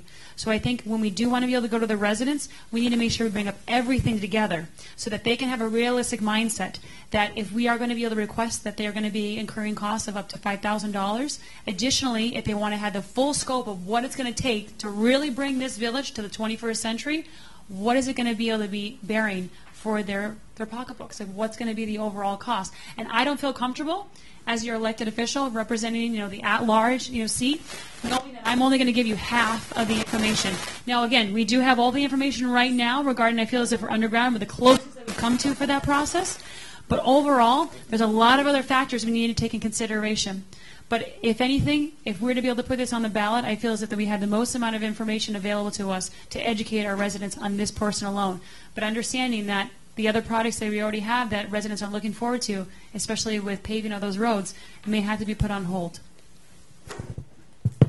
I, I wonder if I might. Hi, Kevin Veriker, 7520 Hispaniola. I think I have relatively quick questions, but first of all, uh, I'm glad you guys are all here the last couple of times, and the two elections we went through where we talked about it, nobody would come, so we kind of guessed what we thought it would cost. It's nice to hear that you're moving forward with this. Um, FP&L particularly, you have been through this now, I believe you said Jupiter Inlet and another town where you undergrounded. Uh, well, the closest one here that we've done the whole municipality is uh, Golden Beach. Okay, which is kind of a lot smaller, but what I'm thinking is do you know if there are any statistics available on how many homeowners had to redo their electrical systems in order to come up with the I- undergrounding? I think if you call those two cities, uh, Jupiter Island and Jupiter Island. Jupiter Island and um, the I'll get you Golden Beach by Friday. Jupiter Okay. Inlet Colony. Yeah. Um, I think if you call those cities, they'll be more than willing to probably give you that information. Yeah, that sounds like Again, a piece of information that we would want to know to know how Yeah. likely this is going to be. Because I have I've lived in my house 21 years. I, I haven't looked at my electrical system. It seems to work. Yeah. So uh, didn't go a lot with that. Um, for the uh, the oh, never mind. You actually just answered that. So uh, I'm sorry. Uh, is there a minimum number of houses that have to agree to undergrounding for it to be effective to move forward? I know we've talked about if one person says no, but what happens if 20 out of, say, let's say 20% of the people say no? Uh, what happens then? Uh, do we have a plan for that? Well, that would all be, that's all based on the city. I mean, Okay. our, the way our tariff is written, um, as Jose mentioned, it, it's based on a qualifying project for our program. Okay. Is three pole line miles, which you Okay. folks have four, four point nine. Yeah. Okay. Um, if it was less than that, if it was less than three pole line miles, but you did the whole municipality, you would still qualify. That's a special circumstance. And then the, um, the, the, the next item is 200 detached dwelling units. We call those, that, that's, a dwelling unit is what we call a single-family home. Right. At least 200 overhead services need to be converted to underground. Okay. Okay, So, so it that- would have to be how- a minimum, uh, Yes. for example, Treasure Island of 200 That's of to the qualify houses. for the program. And I used to know how many houses there were on Treasure Island, but I've forgotten. So, but that would be an issue that the city would have to deal with then and, Yes. and bring you around in the ballot. Okay, my last question is for AT&T. Hello. I haven't forgotten about you. Um, actually, it might be an Atlantic broadband question as well. But with the advent of 5G, one of the things that I understand is that the, uh, and I have all the terminology wrong, but the 5G transmitter antennas need to be within 500 feet of each other. Yes. And one of my concerns is that we'll go to all of this trouble, we'll underground everything, it'll be lovely, and then we're going to have 5G transmitters popping up all over the city. Um, is AT&T involved in the 5G? What is the experience? How are people responding, particularly in undergrounded places? so so this is a process that has just started. So before, I, I can honestly say, um, so before we even talk about um, 5G being brought to North Bay Village, one, that requires a change in the, communi- the communications ordinance for the city, right? One, two, um, as part of our bill plan, as I understand it, because I'm not an engineer, right? Right. But as I understand it, um, our our cables can be undergrounded, but yes, those small cell facilities are going to need to be above ground. And so even if you do underground everything within the city, the small cell um, facility, in order for you to gain the benefit that is that comes with having 5G, it's going to have to be between 500 feet yeah. between each other, and they are going to have to be above ground. Somewhere between, right now, I'm told from our RAN team, mm, 37 to 40 feet in the air, I believe it is. So, So we're going to have a 30, let's say 35 foot tower about every 500 feet in No, order to have the small there's cell 30 technology. up, yeah, Yeah. up, up 35 to 37, and then, yeah, but within Okay. 500 feet. Um, is it, well, that was going to be my last question, but this then brings up another one. Oh, Is uh, AT&T or the other companies that are planning to do this, are they attaching to current uh, overhead poles? So our our priority is first to co-locate, right? Um, that is no, is- no. I heard that you're not doing that. Um, yeah. So our, our goal our, and our priority is to try to co-locate where we can. But in the event Right. that there are is not a pole available where we're going to need to provide that small cell Okay. infrastructure, then we will have to go to the city to request a new pole. Okay. Does that happen anywhere? Um, yeah, we, we're, we're starting to get those requests, and, and, and it is happening. And so, Because I think that, that needs to be a consideration as well of taking all of this out and then finding out that we need new poles every. fi- And I believe that's state controlled, right? We don't have much say over that, Senator. Uh, the vote in the Senate was uh, 37 to 3. I was one of the senators that voted against allowing communications companies to go ahead and just put up wherever they wanted to put up. So we really have no local control over that. Okay. All right. Well, thank you. thank you. So, good evening. I'm Denise O'Brien. I live at 7935 East Drive in Harbor Island, and I am also chair of the Sustainability and Resiliency Task Force here for North Bay Village. So, I will make two comments one as chair, and then the second one as resident. So, as chair of the task force, I want to reiterate um, what Commissioner Strauss said that for us as a village, Um, if I could have undergrounding tomorrow and a ferry would come and it all would be done, we would all jump on it and we want it. But we are going to have to look at the priorities of everything we have to do and decide how we're going to be able to use those tax dollars. So this is something we have to look at as you said so well, so I want to just back you up, reiterate that we're going to have to look at this as the full resiliency package and where this fits and where our tax dollars have to go.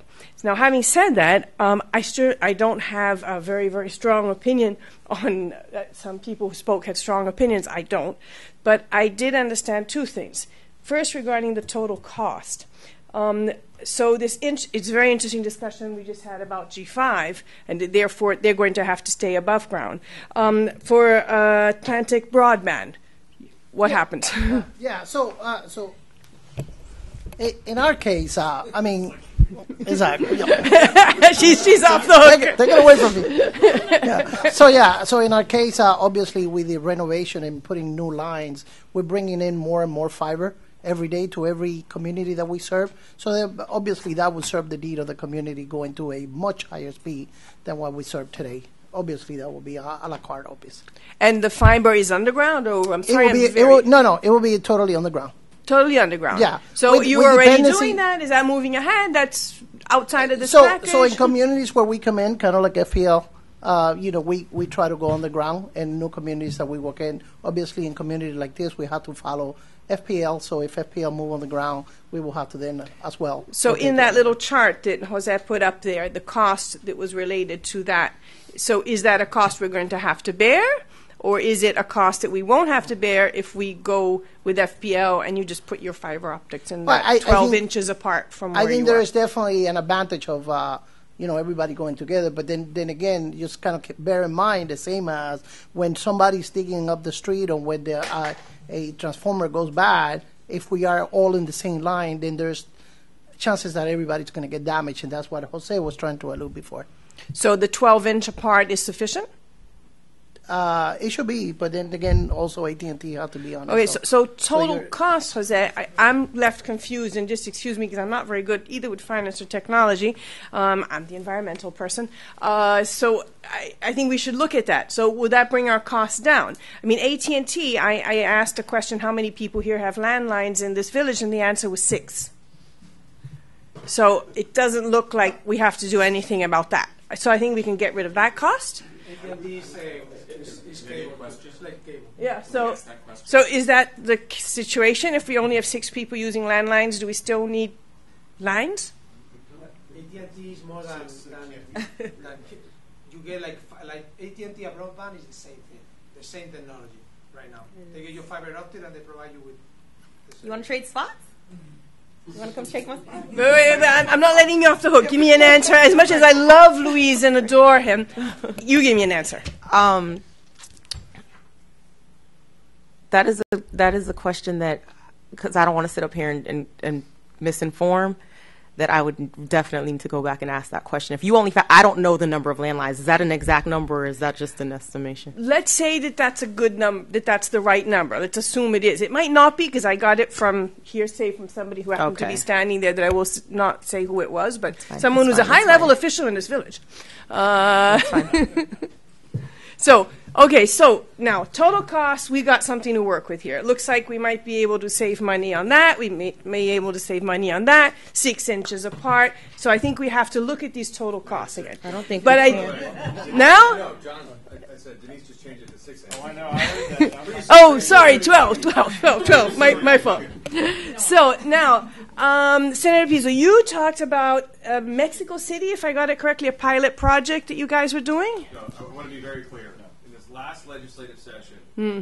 what was what's put into effect, but still has to go through a process of how it's going to play out, is effectively that FPL has permission and the authority to then take a full list of all 412 municipalities in Florida, find an area, find the areas of greatest need where there's outages, where they keep having to go back, where there's redundant problem and problem and problem, and start with the worst city. Okay. By worst, I mean where they have the least amount of reliability and the greatest. So that's what I want. So the definition is reliability one- and. yeah. So from one to four twelve. Now, if they just finish undergrounding Golden Beach, I expect Golden Beach is going to be like 410 or 11, or you know, with everybody else. Not at the top of the. What's that? They won't be on the list. Hey, Golden, Be- Golden Beach will pay. Because they're, no, no, no, no, no listen, Mr. No? Ryan, they won't even be on the list. Oh. Because they're already undergrounded. Oh, gotcha, out, gotcha. The remaining overhead cities that have overhead, Uh-huh. starting with the worst reliability and the, and the greatest need, all the way down. Now, uh, I don't know if it was Mr. Ratner, or Mr. Rosenberg that was talking about the power went out here, the power went out there. There's a gentleman who's taken over, I think locally here, Christopher Ferreira. He's excellent. I'll text him. I'll say, hey, listen, this street's out. Tell me what's going on. And he tells me that in 15 Mm. minutes, the power's been out twice or three times in the last week. This is what happened. This is what the schedule is. He does it for all 15 cities in my district, Okay. including yours. So, do you know where we are on that list? Nobody knows. Nobody knows. Nobody's on the list. There's not a list. Nobody Okay. knows yet. Nobody knows. Okay. So if we, permission to do that. but if we kick the buck down the road a bit, we might. So this is something to This is take why- into this is consideration. why I'm wondering. is Yeah. why I was wondering. Yeah, yeah. If they have, if North, if your city has access to 11 million dollars from FEMA. Yeah. Okay.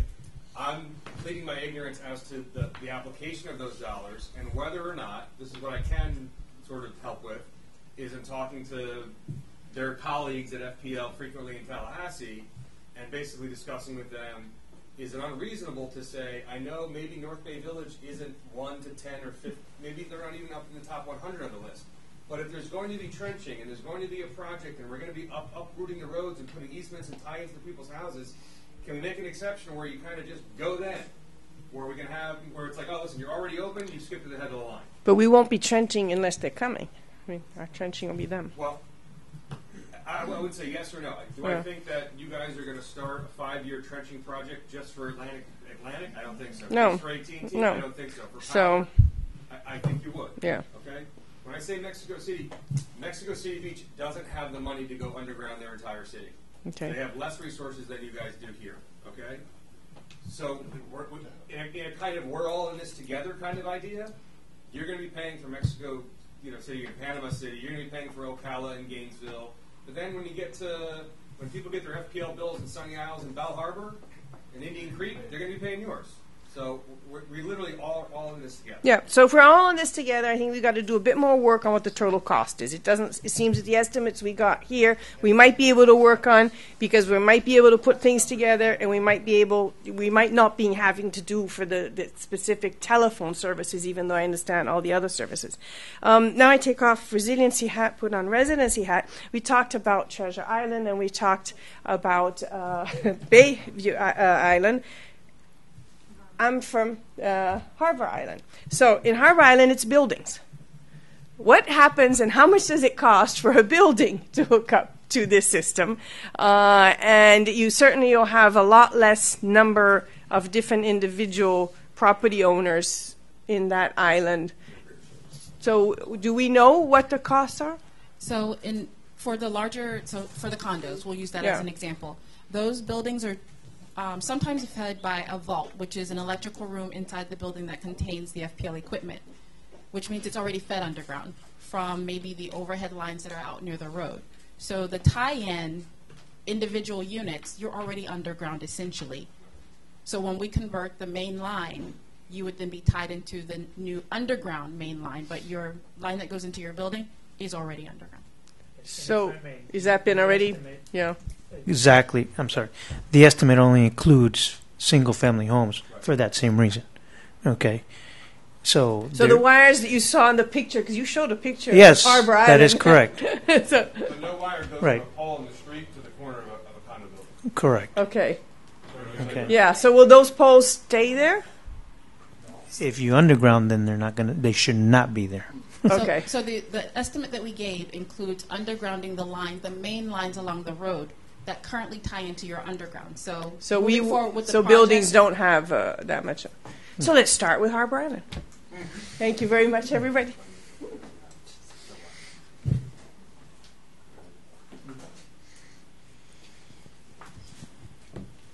Hi, I'm Dale Penn. Uh, I live at the Lexi at 7901 Hispaniola Avenue, and I just wanted to thank you. I feel like you guys have been told a lot of things. Um, I'd like to ask some questions. Um,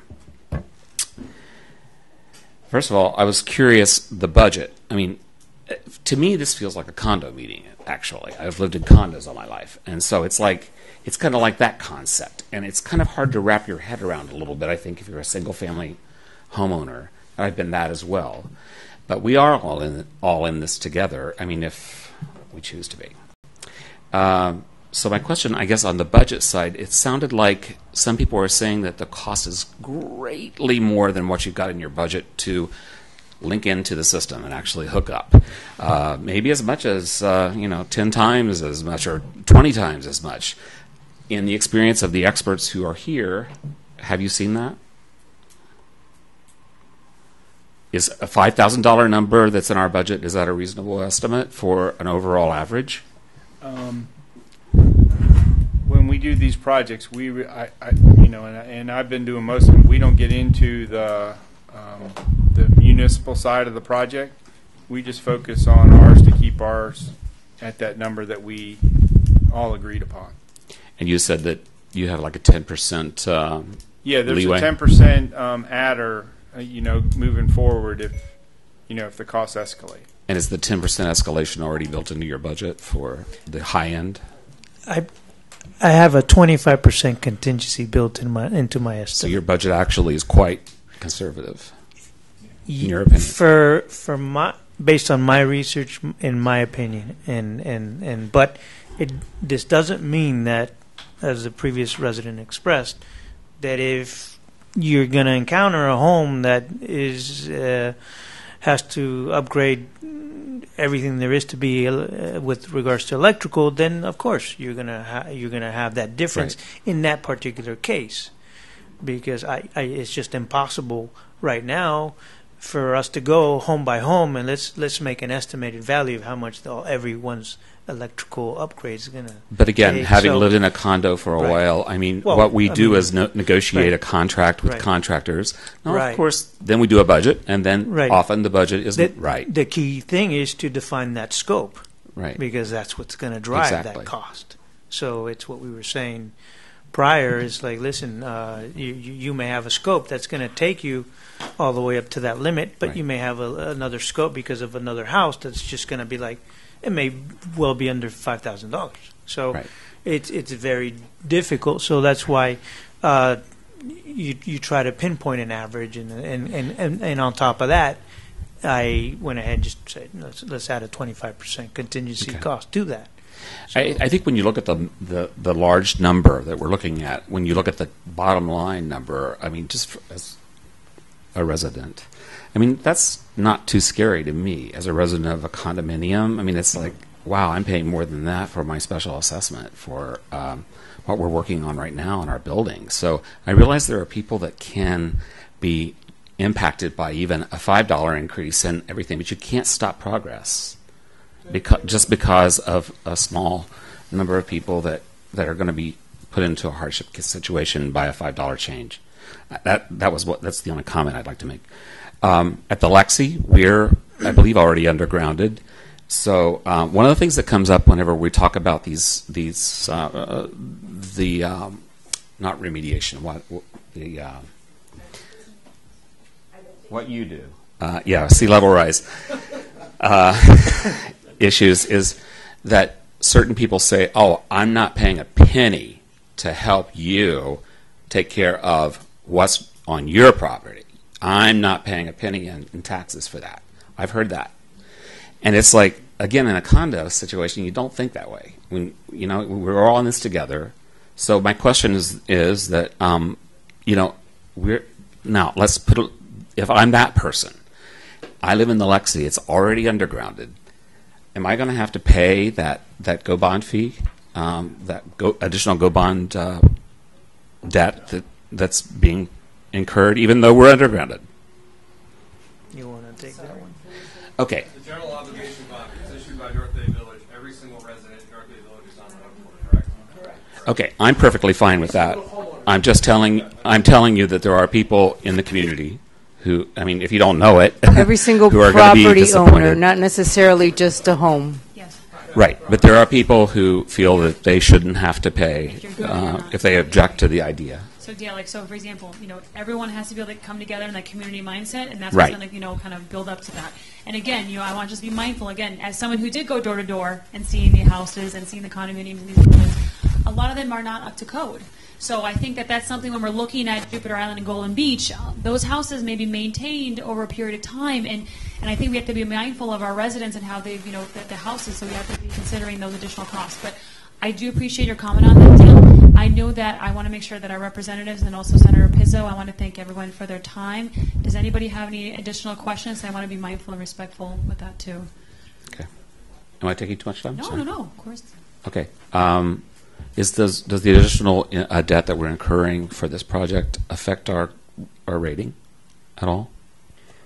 Um, no, because you will, um, your municipality will tax whatever it takes to uh, pay for the debt service. Okay. And um, as you mentioned, sea level rise, uh, the sea level rise issues, the uh, taking care of uh, resiliency issues. Um, would I'm sure that's something that we're looking at, across the state, right? Um, so um, I, guess I would ask the senator. I mean, are other communities looking at possibly raising the level of their their properties, uh, rezoning, so that uh, and so what happens?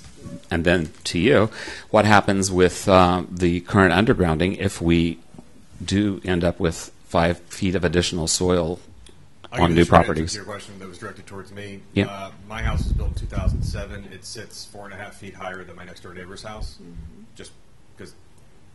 Different code. There you go. Also, but but reflective, we- we had a number of things that were about to pass last year that would have been very cost prohibitive for people. One of them was retrofitting buildings to put fire sprinklers in that were over 75 feet. And I don't want to be the elected official who ever voted for something or against something where a grandmother was killed in a fire in a condo, but the, the, the greater pressing reality is that hundreds of grandmothers are going to be displaced because they can't afford a special assessment of $10,000. So I wanted to be realistic about it. So to your point, yeah, new building codes coming in, things that have to be adjusted. Miami Beach, obviously, you see is doing a whole entire project, raising roadways and, and, and so on and so forth. Um, I go, I go back to listen. It's a sticker shock number to see X number of millions of dollars, then to find out it, it might be plus or minus 10, 15, 20 percent. I would not rely on the numbers that you saw, good or bad. I just and, with all due respect to, to Mr. Oliva, he called the ass based either on a linear linear feet with three feet three foot wide, two million nine hundred sixty, and everybody gave honest answers of what of what the median prices are for those projects. But that might be completely whatever. I Don't rely on the numbers. Okay, don't But- rely on the numbers. But going fast forward to Yep. you and I think a lot of people to see a single family detached home has to go out of pocket twenty eight hundred and seventy five dollars over thirty years. It's de minimis, and Even if it's 50% more than that. Absolutely, and and and uh, and Lourdes made a very good example of just taking a one percent conservative uh, appreciation. It's been far outpaced for the number of years, and so on and so forth. I'm most concerned, legitimately concerned for the 15 cities in my district. At this point, to be really honest with you and everybody here about preservation. I get a lot of blowback and resistance from other agencies who don't want to don't want to allow one of my cities in the district to have a, a 25 by 45 square foot easement for a pump station to convert 87 homes from septic to sewer, and nobody has to pay for anything. Where the small community wastewater treatment program for DEP will give 87 homes septic to sewer conversion, and then the city has to pay 20% of the cost once it's online and working at 50 basis points. Ha- one half of 1% over 20 years. That's cheap money. That's cheaper than you can get it. That's cheap money. And guess what? Guess what? I'm going to be very honest. The school board has taken 13 months to come around with an agreement of what they want, what they want for rent on that small little sliver of Horseman Middle School. And I explained to the principal and to the school board, you might not have 87 homes with kids going to school next year if the water table keeps rising into a septic. So get out of the way. And that happens with a lot of situations. Listen, these guys, they want to use best practices. If they had their druthers, I'm sure everyone here at this table would take underground over overhead at your own home. Yes? Yes. But you know what? If it doesn't make economic sense, if the political will is not there, if that's not what the majority of people want, then so be it. But I'm concerned about preservation. I think you should, we should be using best practices. And if you built a brand new development anywhere in the country right now, you wouldn't be using overhead if you had your option. But if I'm hearing, Yeah, if and- I'm hearing you correctly, we may be in a position where, let's say we do put it on the ballot next year, we're paying our 33 million dollars to uh, to do this, even with the one, wonderful 11 million dollar FEMA grant. It's so we're paying 20 two million. Um, and then the state goes statewide with the 412 list. What happens to us? I mean, are we like the, the poor student that paid off his student loan debt and then it's forgiven? What I'm going to try to do over the next few weeks is get some clarity as it relates. And I it's going through rulemaking. I want to get some clarity, and I want to be able to, to say this. Yes, you go by the list whenever the list comes out, and however it's triaged. Okay, uh, literally however uh, however it's uh, it's assimilated. I just want to be able to say in the in the off chance that there's a city that's willing to go it alone or pay a premium, basically to skip the line to some extent, or in a situation like this where they actually have resources that are time sensitive or project sensitive or project specific, can, can there be exceptions? And I th- I'm sure I'm not thinking of an exhaustive list of those numbers of exceptions, but this is one of them. Mm-hmm. Where hey, we got 11 million dollars of federal money to play with, you know, to use. What's the best use of those dollars? But I'll tell you, if we were doing a brand new development, FPL would be laying lines anyway. Yeah. Whatever cable provider or cable service company would be laying them anyway, and they wouldn't be necessarily billing the homeowner. They'd be billing the developer. Right. You follow what I'm saying? Yes. Right. So I just want to know if we can skip the line, not putting anyone's life at peril or safety at risk because they have the capacity to make sure they have the work crews. If we can use the $11 million to skip the line to accelerate when the schedule is going to be. That's it. I've been saying that to Ralph for months and months and months. Good. I'd like to make a clarification to your question. Every time you issue debt, it does affect your credit rating. Okay. However, we would be responsible enough to ensure that we would never issue so much debt that the residents couldn't afford it. And we'd look at medium household income and all those calculations before we issue the debt. Okay, but you haven't done that No. calculation at this point. Right. There's no Okay. point in paying for those Right. calculations if you I haven't moved far enough. Okay. Uh, so one last question to AT&T. Uh, the 5G, um, if we're going to have poles again, um, are we going to have poles again, or could they be put on, put on buildings, or? If we if we are undergrounding in North Bay Village, you will likely have poles because we're going to need them in order to put this facility on. Okay, then the question goes to FPL. Then, is there a way to reinforce the existing infrastructure so that we don't have so many power outages above ground? Probably said this a few times at prior meetings. Um, the bulk lines that we have, I think the ones like like running along here, um, are feeder circuits.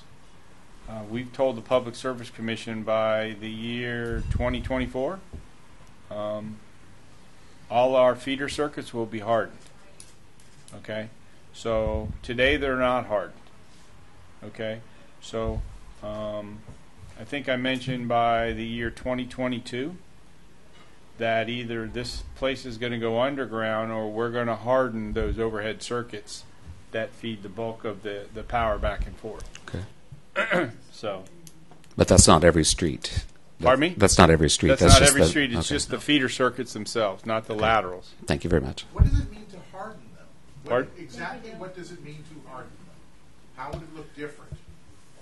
in, in most cases, um, we went with a concrete pole. Okay. So instead of a wood pole, it'd be a concrete pole, a bulkier pole. Um, however, there are other instances where we put intermediate poles. So in, in essence of, if you have a, a pole line of, of 10 poles, you might end up with a pole line of 18 poles. So consider the cost. If you were to do that in the residential it, yes, sorry. Is it possible to make this type of project more cost effective by hardening the poles in the residential neighborhoods as well as just here on the main line? Would that how does that change the cost profile of this if those hardened if that hardened infrastructure will stand up much better? Maybe that's an option. You always have the option to, to keep everything, you know, overhead. I mean, because you have, we were going to come in here, we were going to come in here and harden the feeder poles. Okay. Okay, and the and, and the city told us to stop, so we stopped. Okay, if you want to do the internal structures, right? The the laterals is what we call them that Yeah. go behind the houses. Um, that is the list that we're going through right now in order to harden that, that, that's part of that list. And if, and and I'm- All I'm suggesting is, you know, what, whatever the ultimate build-out cost happens to be. I mean, I won't even use the 33. I'm going to say 50 million dollars just for fun. Okay. My point really is this: if you could do the hardening in within the residential neighborhoods for something a lot less than that amount of money, and avoid all the trenching, and still have a system that is more resilient than what we had to have today, if the cost differential is is is, is considerable, then why not give that greater consideration? So when John, when John mentions hardening, Yeah. we mean our, our main trunk lines. So the main, go along the main road. So in the I understand neighborhoods, They're the, in- they're the smaller lines, the taps, the Okay. the laterals. That is not part of our hardening program today. And most of those poles are typically in the rear of the property. Understood, but you'd be So- going into the rear of my property anyway. So to harden those poles, he mentioned concrete poles. Right. Constructability wise and maintenance wise, we, we can't put concrete poles in the rear of because they can't climb them in order to maintain them. Why can't they? You mean you need a bucket truck? Exactly. So you say there's no no potential to put rungs or anything to climb up a concrete pole? They, those become those become safety issues. So, for example, there are crews when the crews climb the poles. There are some times where they hit a weak part part of the pole and they may cut out. They may fall. So those rungs then become a safety issue in the rear of with obstruction. So we have to balance the need to maintain the grid. So our practice is not to put concrete poles in the rear of because it makes it harder to maintain in the long run, and it becomes more of a safety issue. Sorry, I didn't mean cut you off. AT&T's putting up concrete poles with their 5G 45, 50 feet up in the air, but, and with runs, so are they okay climbing concrete poles? They're inaccessible. They're accessible. You mean they're street accessible? Yeah. Yes. They're on the. Okay. They're accessible by a truck. So let me ask you this: in light of, of this being an issue, is there not a design option to create concrete poles that your folks can climb safely? So this ties back into our pilot. Right. So the pilot of us going in and identifying laterals that we can underground, those laterals are in the rear of. That pi- that pilot brings them out to the front of, because we don't want hardening in the rear of is an operational we, we, safety issue. So moved the tie into the back of Mr. Mr. Rosenberg's house to the front of his house. Exactly. Okay. Well, we now have street lights sitting in the front of of our property anyway. So we're going Could- underground too. Yeah. Sorry. Sorry. Cool. but m- the point is, why not have a pole in each spot that you have, you know, or even if you have to put more of those poles. The point is, you have the precedent already where you've got poles installed at the front of the properties. Let's do something. Let's consider something that might be a better solution at this point. Okay, and I still maintain that ultimately North Bay Village is going to have to do something huge that we've got that we just went through this exercise with with DPZ to become more resilient, right? We're going to have to do something. We're going to be underwater. There's no ifs, ands, or buts about it. And as far as I'm concerned, when we get started on that kind of a project, that is the time to fold a different type of infrastructure project into it. So I maintain, I don't think you're going to be able to peg the cost of this underground project right now with any degree of reliability. It's not, and it's not about people absorbing a hundred bucks per thousand, uh, per hundred thousand valuation. We don't know what the number's going to be. And let's go back to the other issue. We still don't know on an individual basis what type of financial burden all the homeowners are going to face. And let's, and I can't, and we're not comparable with Golden Beach. Okay, we're just not. So somebody there maybe can afford a lot of people there maybe can afford 50 grand, 100 grand. Not that big a deal. Here, totally different story. And uh, you know, if it if it takes just a few property owners who don't have the wherewithal to come up with those funds to halt the entire project, I, I, I just don't think that this is feasible. Thanks. Yeah, I have, s- 60 seconds. 60. Simple.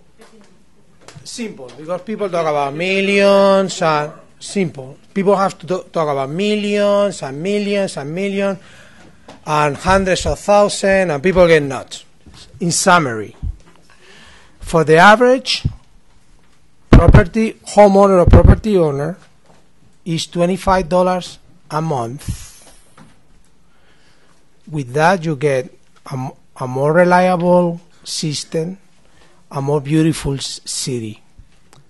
Plus, for the minority, for a, for a minority, I'm not going to say small, for a minority of the homeowners, including me, that we own fa- single family homes, the minority of the residents of this city, we may have to incur an additional cost to bring our home to code, but we will get more safe at home and we will avoid getting killed by a fire when we are sleeping.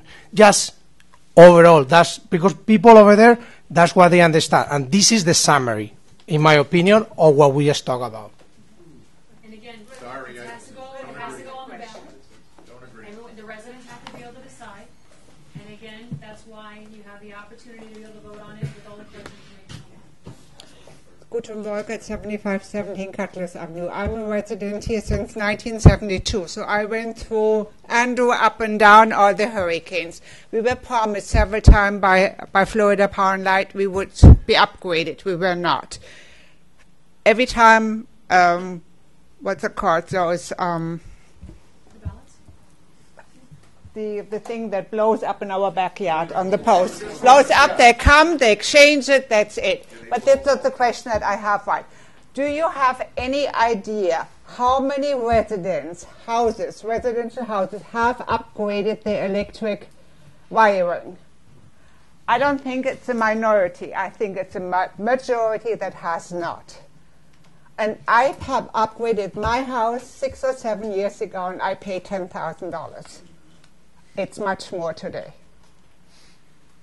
And I think the city is obligated to let the residents know if if we go underground, we voted twice for it. I voted twice for it. Things have have changed.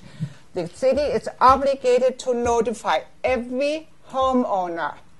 This is what it costs you. Do you want, still want it? Are you with us or you are not? And I think that's a very important point. Ma'am, if you, if may, I'm sure this commission will do so, and I, I assure you, promise you, that nobody's going to be unfairly surprised by anything in this process.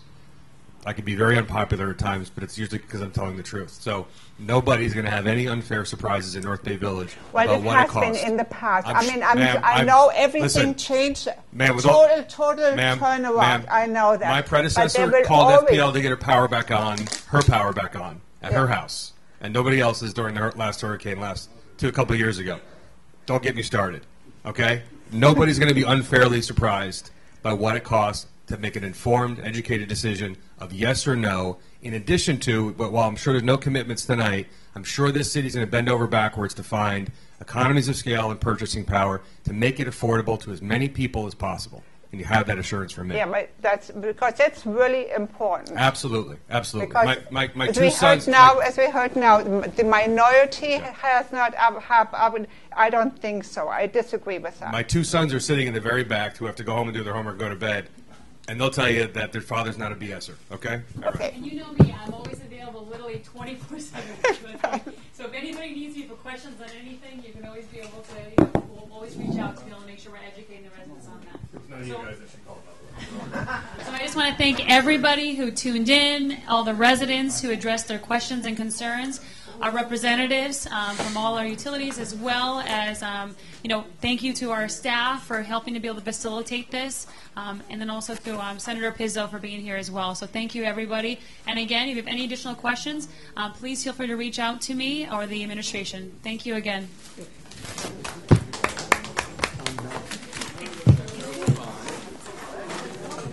This is going to be a true. This is Gracias.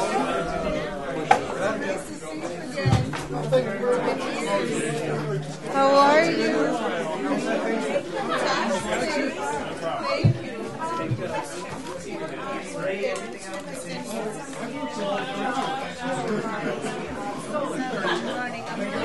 Thank you, Great point your house is safe, you bring it up to code, the better we better, better resale value, your family's safe. Don't bring net metering department.